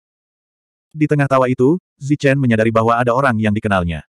Ada Sangguan Kixiang, Chen Liang, Zhou Sun, dan yang lainnya. Mereka semua memiliki senyum yang mengerikan di wajah mereka, dan ada sebuah genderang besar di samping mereka, yang terus-menerus mereka pukul untuk merayakannya. Bajingan-bajingan ini, melihat seseorang bunuh diri, mereka bahkan tidak menolong. Dan Sangguan Kixiang, bukankah dia sudah mati? Terhadap ketidakpedulian orang-orang ini, Zichen terkejut dan marah, tetapi dia juga sangat bingung. Tidak peduli seberapa keras dia berteriak, mereka sama sekali tidak mendengarnya. Sebaliknya, mereka terus memukul genderang, membuatnya bergetar. Dalam keputusasaan, Zichen hanya bisa menatap sosok cantik itu, berharap dia akan menyerah pada ide bunuh diri. Dia tidak tahu mengapa, tetapi saat dia melihat sosok cantik itu, dia merasakan deja vu. Namun, dia tidak bisa melihat wajah orang itu, hanya wajah yang samar-samar. Tiga tahun, aku menunggumu selama tiga tahun, tetapi kau tidak kunjung datang. Sosok cantik itu bergumam pada dirinya sendiri, tetapi Zichen dapat mendengarnya dengan sangat jelas. Dari gumamannya saja, Zichen mengenali identitas sosok cantik itu. Ternyata itu adalah sangguan Yuer. Tidak, Yuer. Dengan tetesan air mata terakhir yang jatuh, sangguan Yuer menusukkan belati itu ke jantungnya. Zichen menjerit ketakutan, lalu tiba-tiba duduk. Dahinya dipenuhi keringat dingin, jelas karena syok. Dia berteriak, jangan mati, jangan mati. Saat dia berteriak, Zichen merasakan hawa dingin, dan dia tidak bisa menahan diri untuk tidak menggigil. Kemudian, dia melihat bahwa dia sedang duduk di tanah, dan di sebelahnya ada telur besar.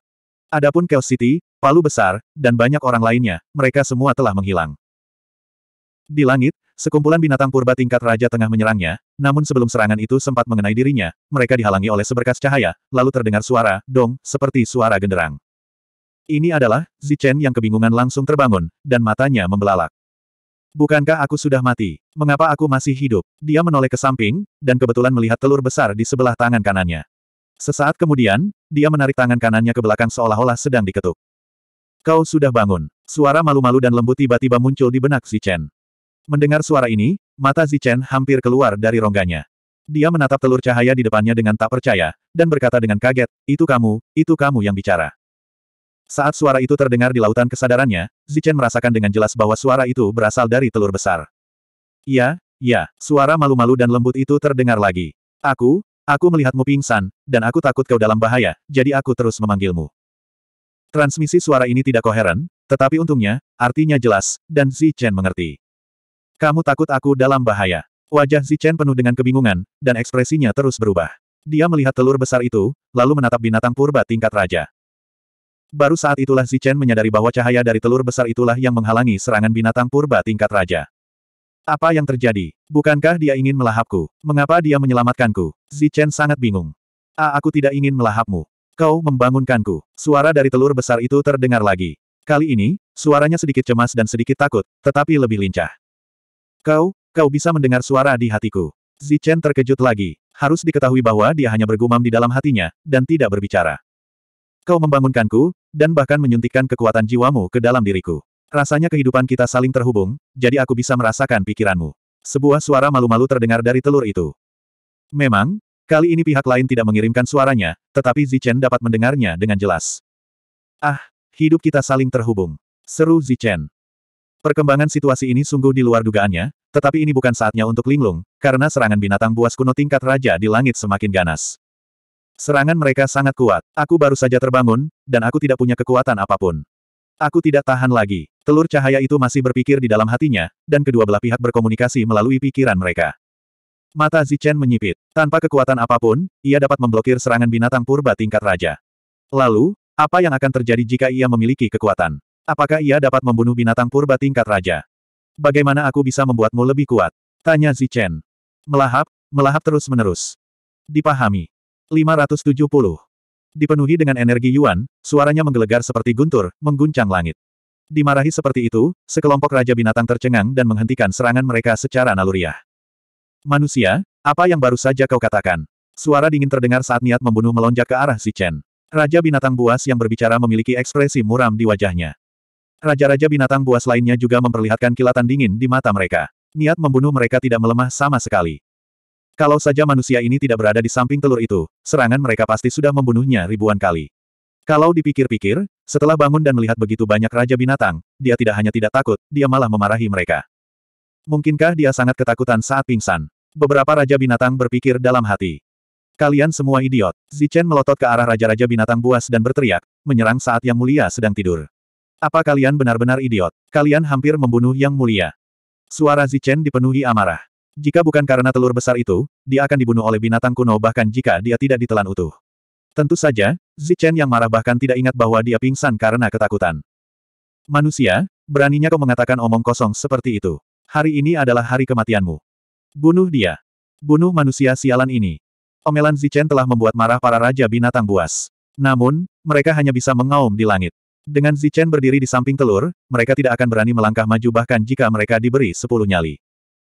Namun, ada beberapa raja binatang yang memanfaatkan kesempatan itu untuk melancarkan serangan destruktif mereka. Namun, mereka semua terhalang oleh cahaya telur itu. Manusia, keluarlah jika kau punya kemampuan. Bersembunyi di dalam jangkauan telur. Kemampuan macam apa itu? Melihat serangan mereka tidak efektif, Raja-Raja Binatang pun meraung. Tatapan mata Zichen semakin dingin. Namun, dia tidak terus memarahi mereka. Sebaliknya, dia berkomunikasi dengan telur itu melalui telepati. Ledakan. Energi di langit melonjak saat Raja-Raja Binatang buas menyerang sekali lagi, bertekad untuk membunuh Zichen. Namun, mereka semua terhalang oleh telur itu. Dasar bodoh, hari ini adalah hari kematian kalian semua. Zichen mengangkat kepalanya dan menatap ke arah sekelompok Raja Binatang Purba. Kali ini, dia penuh percaya diri. Kemudian, di bawah tatapan tercengang dari para Raja Binatang Purba, Zichen membungkuk dan memeluk telur besar yang bahkan lebih tinggi darinya. Kemudian, dia mengangkat telur besar itu dengan susah payah. Ini. Melihat manusia itu membawa telur raksasa itu dengan susah payah tanpa dimakan olehnya, sang Raja Binatang yang kebingungan itu membelalakkan matanya karena terkejut. Minum. Memeluk telur yang berat itu, Zichen mengeluarkan suara gemuruh yang keras. Cahaya keemasan yang tak terbatas memancar di sekujur tubuhnya saat ia mengerahkan seluruh tenaganya untuk melemparkan telur itu ke langit. Suara mendesing. Setelah telur besar itu lepas dari tangannya, ia berubah menjadi seberkas cahaya yang menyilaukan dan melesat menuju binatang purba tingkat raja bagaikan anak panah.